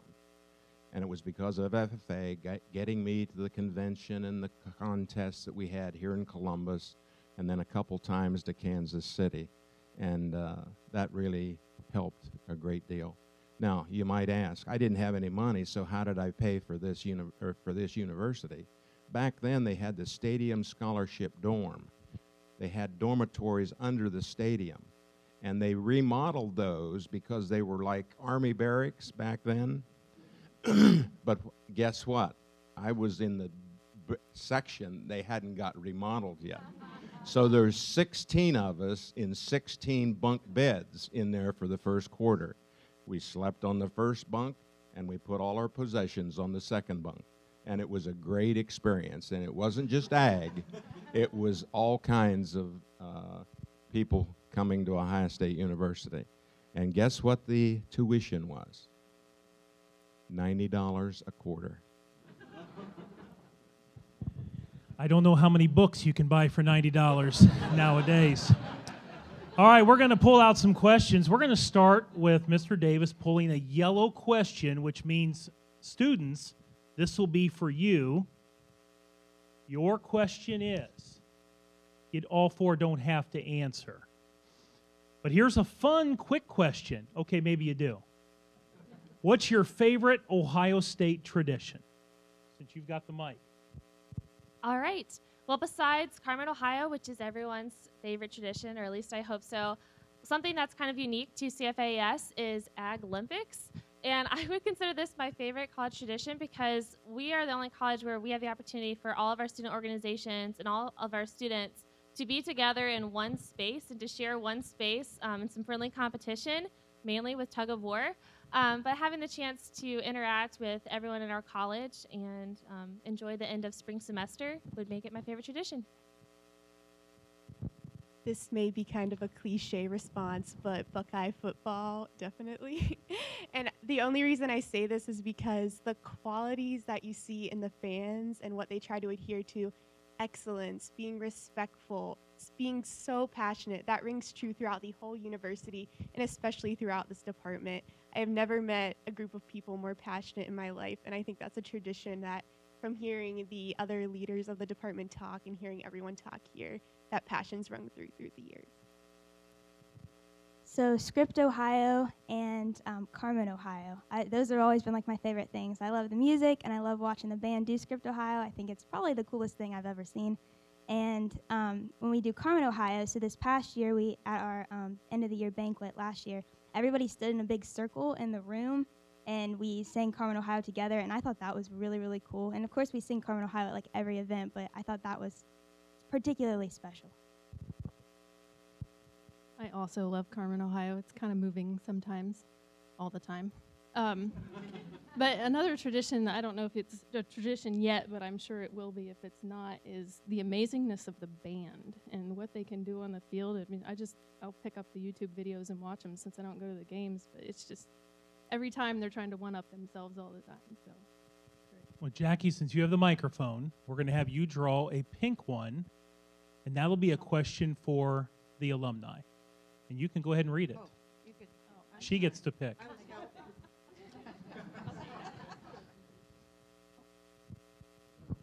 Okay, for alumni, what were some of the biggest life lessons you learned through your time in this department? What, be it classes, organizations, from faculty, whatever. again, no surprise, you all know this, but it, it's the it's the network, it's the the friends you make, and the and the colleagues that'll uh, become uh, stay colleagues forever. Um, I remember, and, and Kat, this is where you have to take the code of silence because uh, I remember this skinny sophomore who had a flock of sea, seagulls haircut that we all kind of like, who is this guy? And it was Adam Sharp, it was Kat's uncle, and he's now my boss and Leah's boss. He's executive vice president of Ohio Farm Bureau, and um, I've worked with Adam now for a number of years. And sometimes, Dan, I feel like you, you probably can relate to this. You look around and like, when when did the kids get in charge? Like, when, how did that happen? But but I love that idea. I, I'm I'm proud of Abbott, Adam and, and what he's accomplished. Um, um, is an AgCom major. She's one of the uh, preeminent ag law experts in the state and has gone used her AgCom uh, degree, you know, really well in that capacity. But but it's those relationships that you you make as a as a sophomore that uh, 25 years later you may be working for that person or with that person, but those those relationships and that network is just so valuable. When I became uh, director of ag education downtown, we always had monthly meetings with the OSU staff. And when we was in the 70s, we had the big explosion of vocational education and agriculture being a part of that.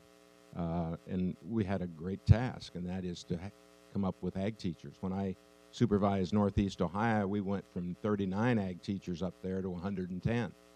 So we really needed ag teachers, and I was glad to see that we talked about the ag teachers there with the uh, um, you folks that were before us, because it is very important that both downtown and uptown we work together, and I appreciated that. Some great staff members at that period of time. Uh, well, this was, question was on the list, so I'm prepared for this one. Um, when I came to Ohio State, it was called like Country Comes to Town. Um, you know, I, I grew up in a little school. I went to Oregon State, wasn't that big. But I want to tell you, one of the, the things that affected me most over time was working with the other intern, or with the international graduate students. Uh, I felt I was coming to a different country or culture myself, but um, one of my sharpest memories is that, and I, I wish I could remember the name, and, and some of the facu- older faculty might remember. We had a, a graduate student who'd come here. He finished a, a master's and a PhD, and he'd been in the States like five or six years and went home. Um, left his family and came here, and he'd only been home a few months and was killed in, a, in an automobile accident. And the, the Ag graduate students were talking about what we should do. And it became very Im- impressive to me because each of the international students talked about what the culture would have been in their country, how they would have handled this in their country. You know, do we send money? Um, no, we can't send enough money. Or, you know, how do you do this? Or maybe we should send gifts of some other sort. And it really opened my eyes to the other cultures that I was working with here on campus. And we always loved it because they would stand up in class and say, well, in my country. And so we, a few of us tried that a few times. But it really helped me as a faculty member later on to remember that I had to learn about their culture as much as they had to learn about mine. And I think that was probably the thing that stuck with me most as a, as a doctoral student here. You know, you wonder sometimes with a group like this how many questions we'll get, and you guys are doing great. I think we can still do another student, another alumni. Pat, why don't you draw a yellow one out for us? Students, get ready. Here we go. Go ahead and hand that microphone down. Oh, it's a long question. What challenges do you think you and your fellow students are going to have to face as you enter the workforce and profession after you graduate? And how is the department preparing you to meet those challenges? Who made these questions? Go ahead. Well, I think a major challenge for all of us here, and I think everyone here in academia can relate to this, we have a public who is increasingly leery of agriculture, of research, and of government. And that is essentially what we're all trying to do here. We're trying to bring research based federal programming to the community, and we need to find a way to educate them without making them upset or just getting them turned off from us. And I think the department's done a great job of preparing us for this because we've had opportunities to engage in research ourselves so we understand how it's con- conducted. We've also had opportunities to read and learn about this research in our class. And I really think the fact that we've had hands on experiences through internships and through really invested faculty, the experiences they provided has allowed us to accomplish this. Anyone else? So I did not realize until just the last few years just how massive of an outreach like agriculture and Ohio, like the university, have within the state, and it's just it's insane. It's super amazing.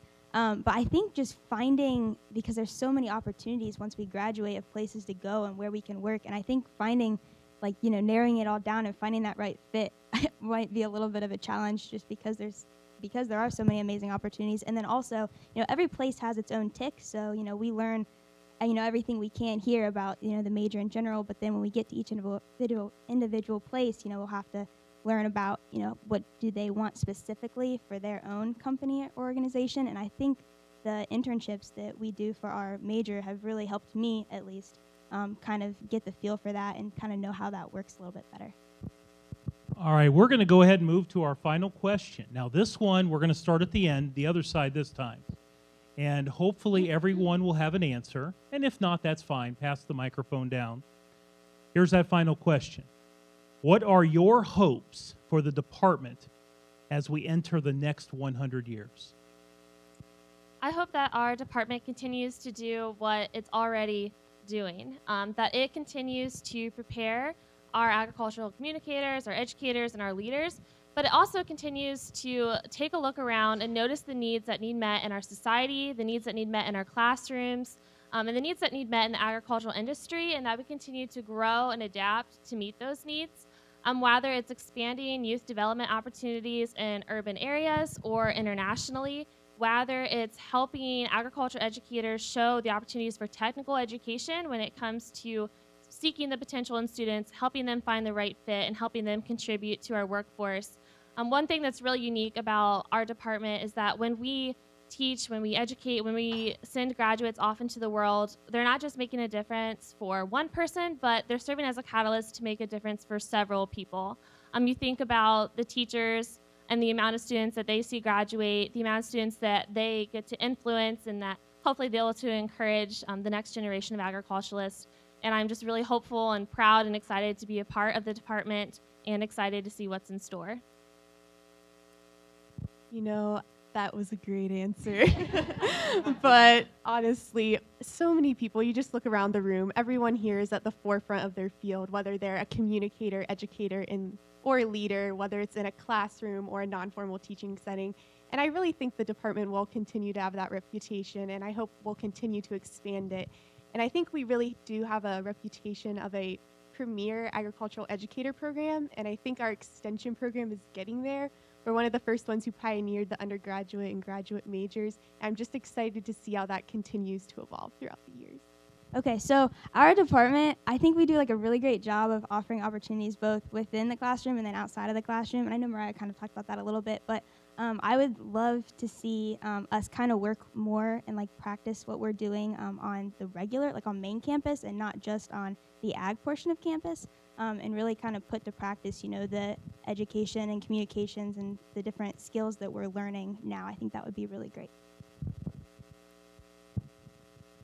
I hope the department continues over the next hundred years to challenge the students to become the best that they can be, the best versions of themselves, so they can go out and make a difference in the world um, on a global scale. I think the department has an opportunity to have a national and international presence beyond even where it's at now, um, in sort of eminence in its leadership and extension and ag ed- education disciplines. Um, there's a lot of potential that I think in elements we're not tapping into just yet, and we have the opportunity, and hopefully in the next hundred years to get there. Well, as a as a PhD student, my perspective is a little different.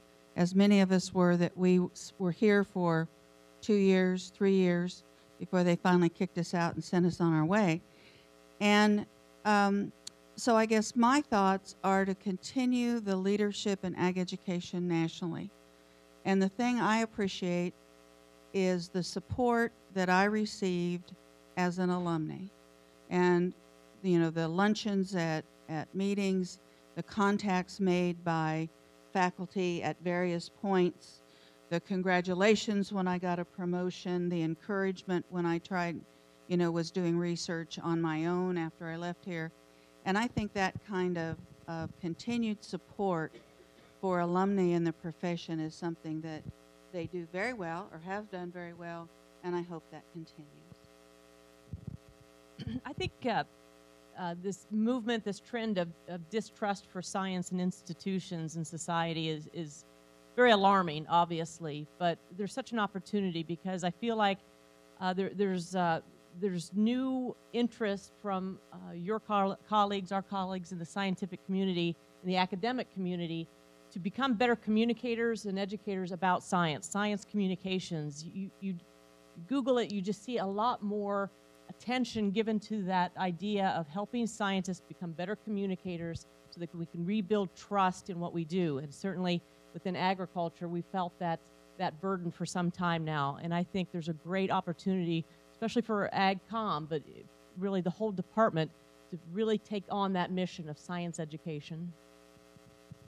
I think in 1989, the Green Book that Dr. Warmbrod talked about or chaired that group, it was to teach all people about agriculture. And I don't think we've accomplished that. For example, at FFA camp, during the 12 weeks in the spring and the fall, we bring in for two and a half days sixth graders in a program called Nature's Classroom and it's just an outstanding thing. I'm, I, we're going to the doctor now, and I'm talking to parents of kids that are being sent to our camp, and great reports. This is something, number one, continue to do what you're doing, but I think an area we really have to step up, and that is to teach agriculture and what we're all about and the importance of it to all people, not just seven through high school and college. Now, kind of as a facilitator here, I didn't answer any questions until now. Those of you that know me know I'm a man of few words, so bear with me. Yeah, it doesn't get much funnier than that, I got to tell you. Where we're at, I mean, when you look at the past, I mean, it started in 1917 with two guys named Smith Hughes. I mean, Dr. Barrick, you remember them. But, um, sorry. But agriculture is our lives, and education is our lives. In 1983, I became a student at New Bremen High School in agriculture education. And my teacher was Mr. Al Hoeing. He just passed away four months ago. But you know what I learned from him? It continued throughout agriculture education. And that's the two things I hope that continue the next hundred years. and that is servant leadership and the lifelong connection that this department has with the graduates. For four years, I had a great opportunity to be at New Bremen Agriculture. Then I had an opportunity to be a state officer and be led by Mr. Hubbs and taught me so many things about what a leader should be. From there, my state FFA advisor, Mr. Davis, and then as I run for national office and become one, Mr. Scott, being able to help me through there. Then to go to Ohio State and my department chair, Dr. Barry, and going down to room 100 and seeing Dr. Newcomb, and knowing his door was open to say very warm, friendly things to you.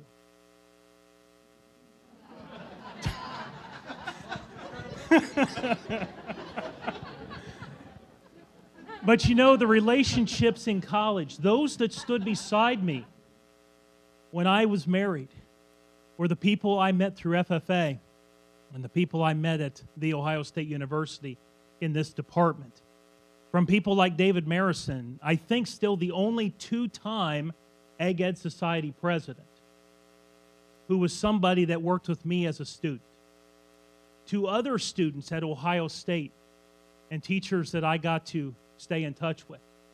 Then, when I became a teacher and found mentors, and some of them here tonight, Brad Moffett, the leader of ag science education in Ohio in the 1990s, and Craig Wiggett at the Ohio Department of Education, continually calling me as a young teacher, how can we help?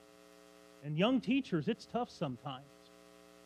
But it's because of that connection here with agriculture education.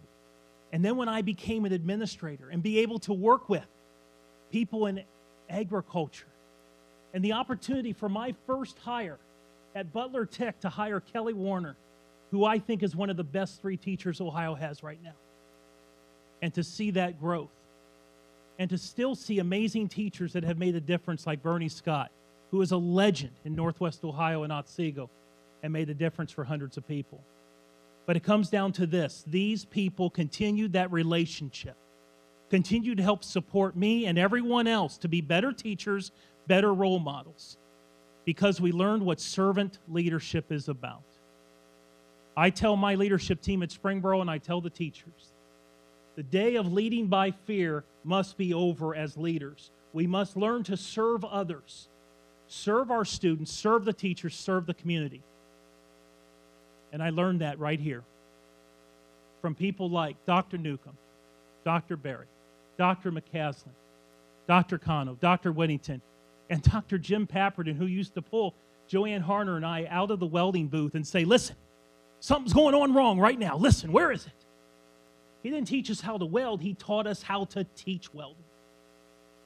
When I finish speeches as a school superintendent, I end with this it's not how long you live your life that counts, it's how you live your life during the time that God has given you that really makes a difference. Those of you in the room that made a difference for me, thank you. But all of you are teachers, you're educators, you're making a difference every day. Thank you. Thank you, panel. Dr. Kitchel, back to you.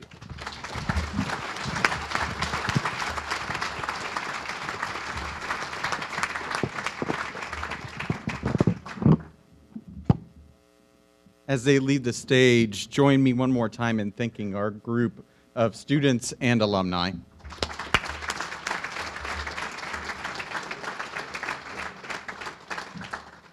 We've talked about the past, we've talked about the present, and now I'm excited to share with you a little bit about the future.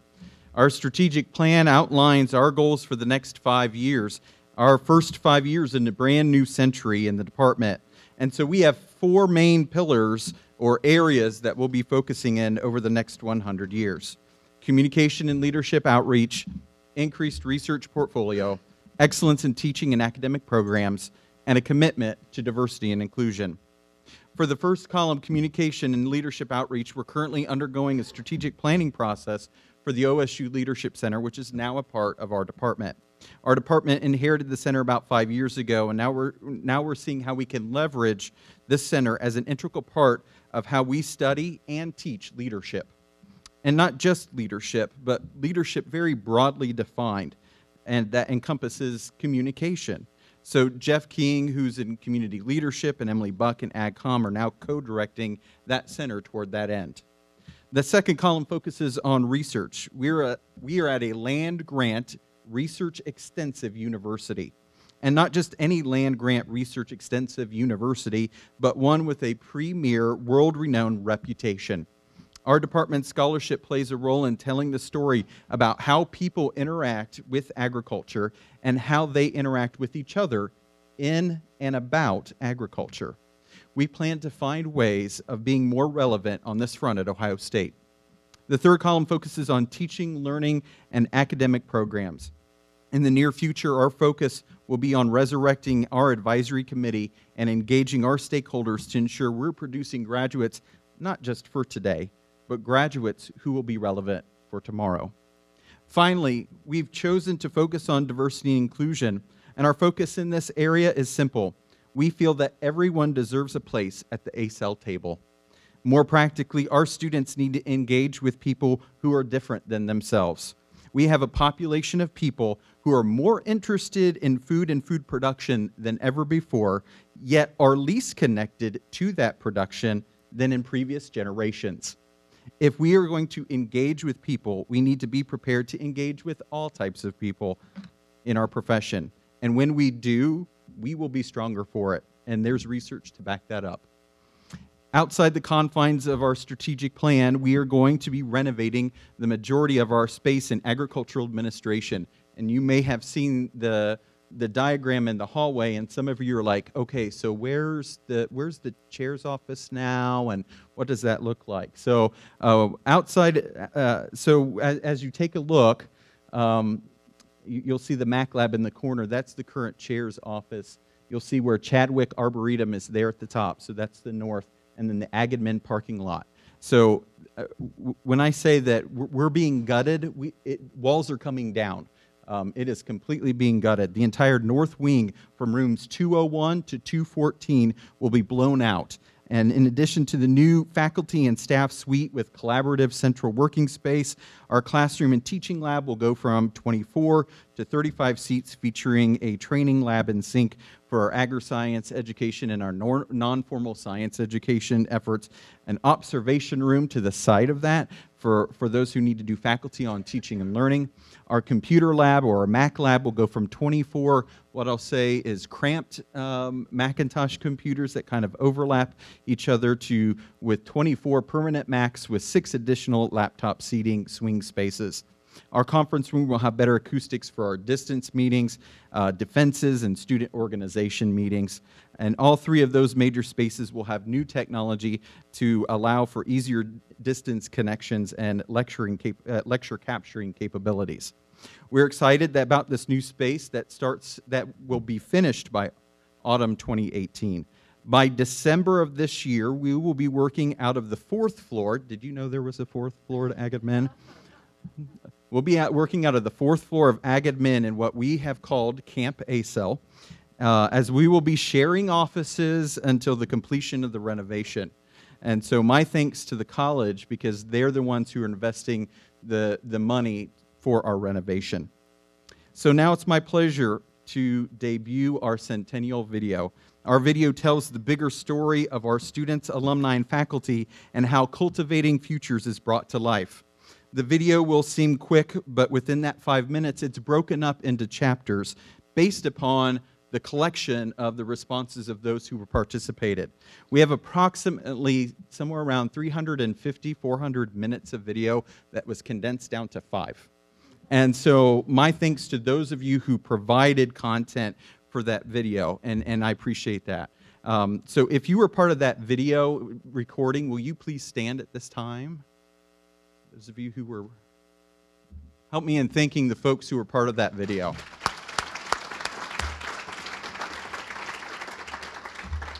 Now, now here's the bad news. Even though not everybody made the final cut, again, 350 minutes down to five, uh, the comments from all involved were very heartwarming, and I think you'll see that come out in the video. Our plan is to utilize the additional footage for other kinds of opportunities to talk about the department. So if you don't see yourself today, you will probably see yourself later. Um, and so at this point, I bring you the Centennial video. The foundations of the department back in 1917 really were around preparing vocational agriculture teachers. We taught problem solving from day one. And then in the late 60s, we started agricultural communication. I think our department's doing a good job of trying to stay on pace with how fast communication is already developing in our world. Around 2012, we started into community leadership. And we went back to the roots of our discipline and the basic tenets and decided what do we still believe in? And philosophically, what are we still committed to? And therefore, what are we going to use as the foundation from which we will rebuild what we believe will be the best curriculum? The evolution of us being agricultural education is really more about thinking broader than the production of food, but the whole process that it takes to get food from the farm to the plate. This department puts a lot of emphasis on students taking external experiences. So whether that's an internship or a job or a study abroad type of experiencing, expanding our horizons beyond just the classrooms here at Ohio State. We need to be broadly educated to know about the social, the political, the arts and history such that we can interact with, we can participate in the culture and the world in which we work. I actually was personally able, through my internship that I was doing, was able to travel uh, and take some students, actually high school students, to Ghana, West Africa. And, and that experience there and seeing how food connects people, not only just in what they eat, but just connecting to your health care and to economics, just all of that and how it intertwines in so many parts of our, our lives. I became exposed to things that I had never seen, never understood, and I became uncomfortable. And as a result of that, I was challenged the professors in our department have a true love for agricultural education. Working with my academic advisor solidified the pathway in the department and my future career. My professor here at the time, Dr. Kurt Paulson, uh, if it wasn't for him uh, encouraging me to put together a resume that he then circulated in Washington, D.C., I never would have had an internship there, uh, and which, which completely put me on the path to my career. This department has really helped me to kind of be in a position to do what I think will help me to address the problems that I saw back home. You're not going to have better advisors than what this department has. They really care for you, and I think that they really help you not only get to your end goal, but they know the steps to take to be able to get there too. They want you to succeed, and they really drive you to succeed, and they won't stop until you do succeed. Once I made the decision that I wanted to be a 4 H educator, it was very clear for me to attend this university, this college, this department. Many universities will have an agricultural education component, but this whole community leadership and specific in leadership or extension component is new. The great thing about this department is there's so much freedom and so much flexibility. It really empowers you to create your own. The opportunities are endless because of the need we have to feed a hungry world, provide safe food for the consumers. You know, that mission is essential now as it's ever been, and the college is well positioned to provide that workforce to deliver that.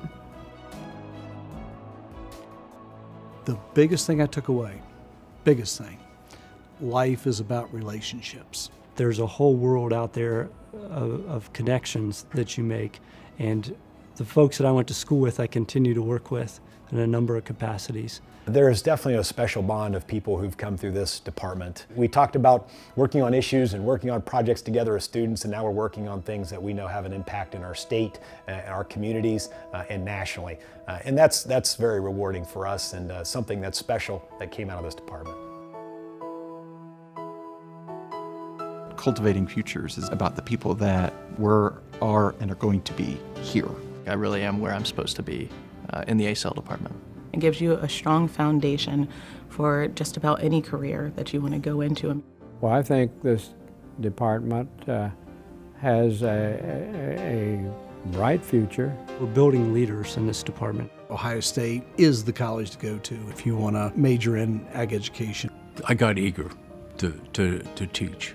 I hope that I can do half as much as my teachers did for me. When I look at the next hundred years, that's what really excites me. They change your life while you're here for those four years. This department sets you up for greatness. I really feel touched by the opportunity to have been a part of what I consider a pretty special place.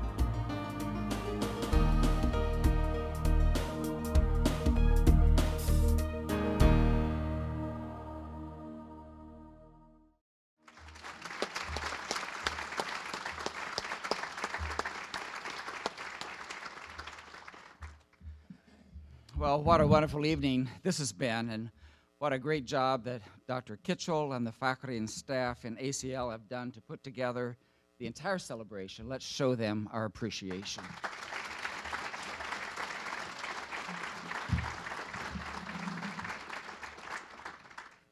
You know, just like all of you, any success that I've enjoyed in my career is due in large measure to the fact that I am a graduate of The Ohio State University in agricultural education.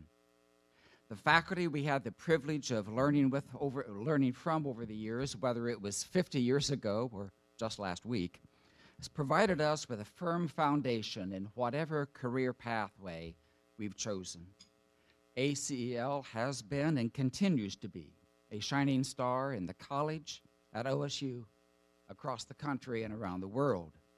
And as Dr. Warmbrod just said in the video, ACEL has a bright future. I've had the privilege of working at three major land grant universities, all of them with large enrollments and a diversity of programs. My loyalty has always been to the scarlet and gray, even during those years that I had to wear orange and blue. Although colors and mascots and locations may differ considerably, they all share a common concern the lack of financial support from the state. Appropriation levels for state assisted universities have dropped to well below 20% of the annual budget. And we strive to keep tuition at an affordable level. After all, we are a land grant university, university of the children for the common people. So, where do we get our funding to make up this void? Some would offer perhaps through contracts and grants. Well, that's a good idea, but grants come with strings attached, work to be done, not general support. There's little support for the academic mission of the university through grants. Rarely does USDA, the Ag Experiment Station, NSF, NIH, and the like provide any funding for teaching and learning. That leaves one very important source of financial support for our university and for this department us. Us. Private gifts from alumni and friends of ACEL who are willing to step up and ensure that the department does continue to prosper. When Dr. Susie Whittington and I were asked to chair the development committee for the Celebrating Futures effort, we readily agreed. And by the way, you saw Dr. Whittington on the video. She's not here this evening. Her husband, Dr. Pat Whittington, is receiving the Distinguished Alumnus Award from the College of Agricultural and Life Sciences at the University of Idaho this weekend. So Susie is with Pat in Moscow, the, the one in Idaho. Okay, yeah. Tonight, we launch the Centennial Campaign funding for ACEL. As several of us collaborated in determining the proposed use of the funds, the bottom line is simple to support student learning. Whether it's a scholarship fund and direct support, or program enhancement, or faculty development, the revenue from this new endowment will drive student development activities. Admittedly, we've set a lofty goal $2 million, which will generate about $80,000 annually every year for varied programs. But we know it's reachable, and we are off to a great start. To reach that goal, gifts would need to average about $1,000 per alumnus. But like Garrison Keillor's Lake Wobegon, all of our alumni are above average. So we know that, thank you very much. So we know that $2 million really is within reach over time. During this quiet phase of the campaign, we've contacted a few alumni to help us establish the endowed fund and to get us started off on the right foot. We extend a hearty thank you to those who've already stepped forward with a pledge or gift. You see their names on the screen, like right now. There they are, along with those who also contributed to the Centennial Planning Fund under the direction of then Department Chair Gary Straquadine.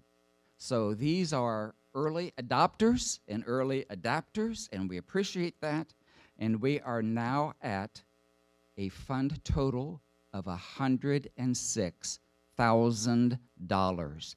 Thank you, thank you, thank you.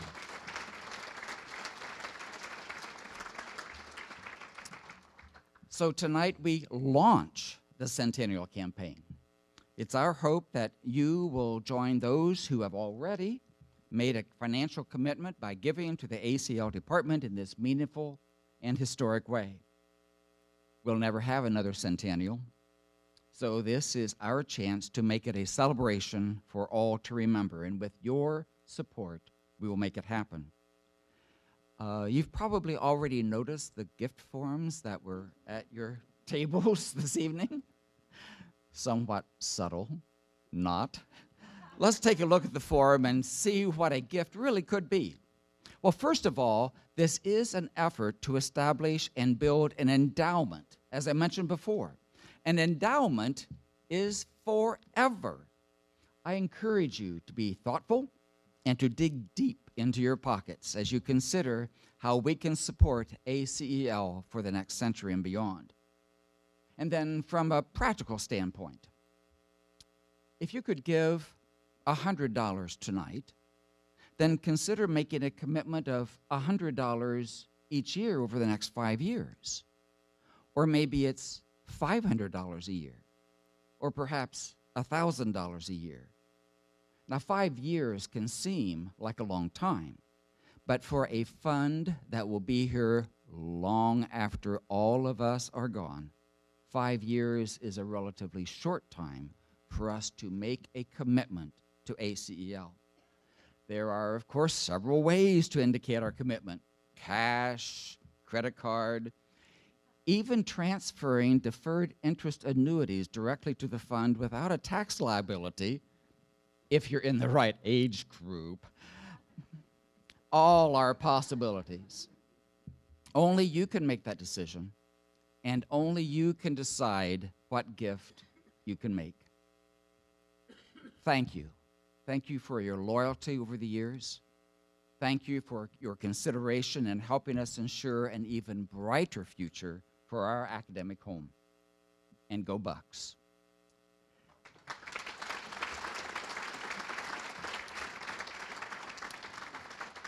At this time, I welcome back Dr. Kitchel and our student narrators as we end our evening together.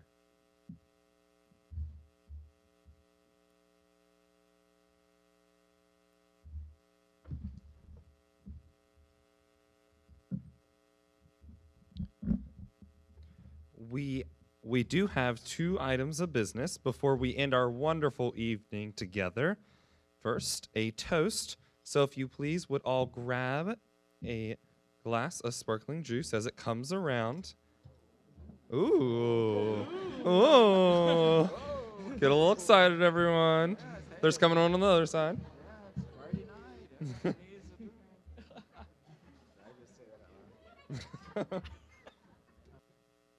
All right, if everyone would please grab a glass. A toast. A toast to our humble beginnings of preparing vocational agriculture teachers. A toast to our expansion into extension education and community leadership as fields of study. A toast to the inclusion of agricultural communication to connect our industry with the broader population. And to the future, may we continue to cultivate our future and the future of our students and those in art industry and profession. Cheers.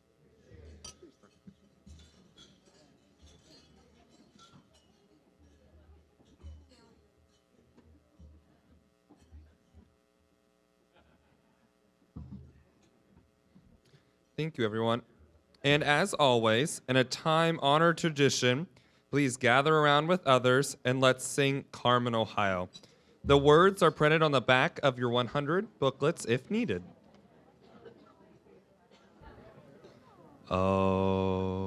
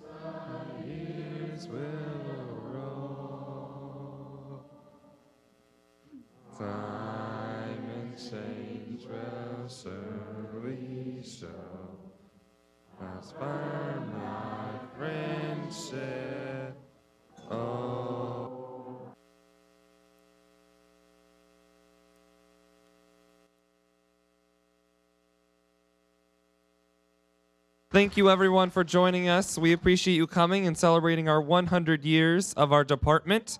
As you leave, please grab your commemorative candy jar, and in the lobby, please fill it up with candy. Thank you, everyone, for coming, and as always, go Bucks! Woo!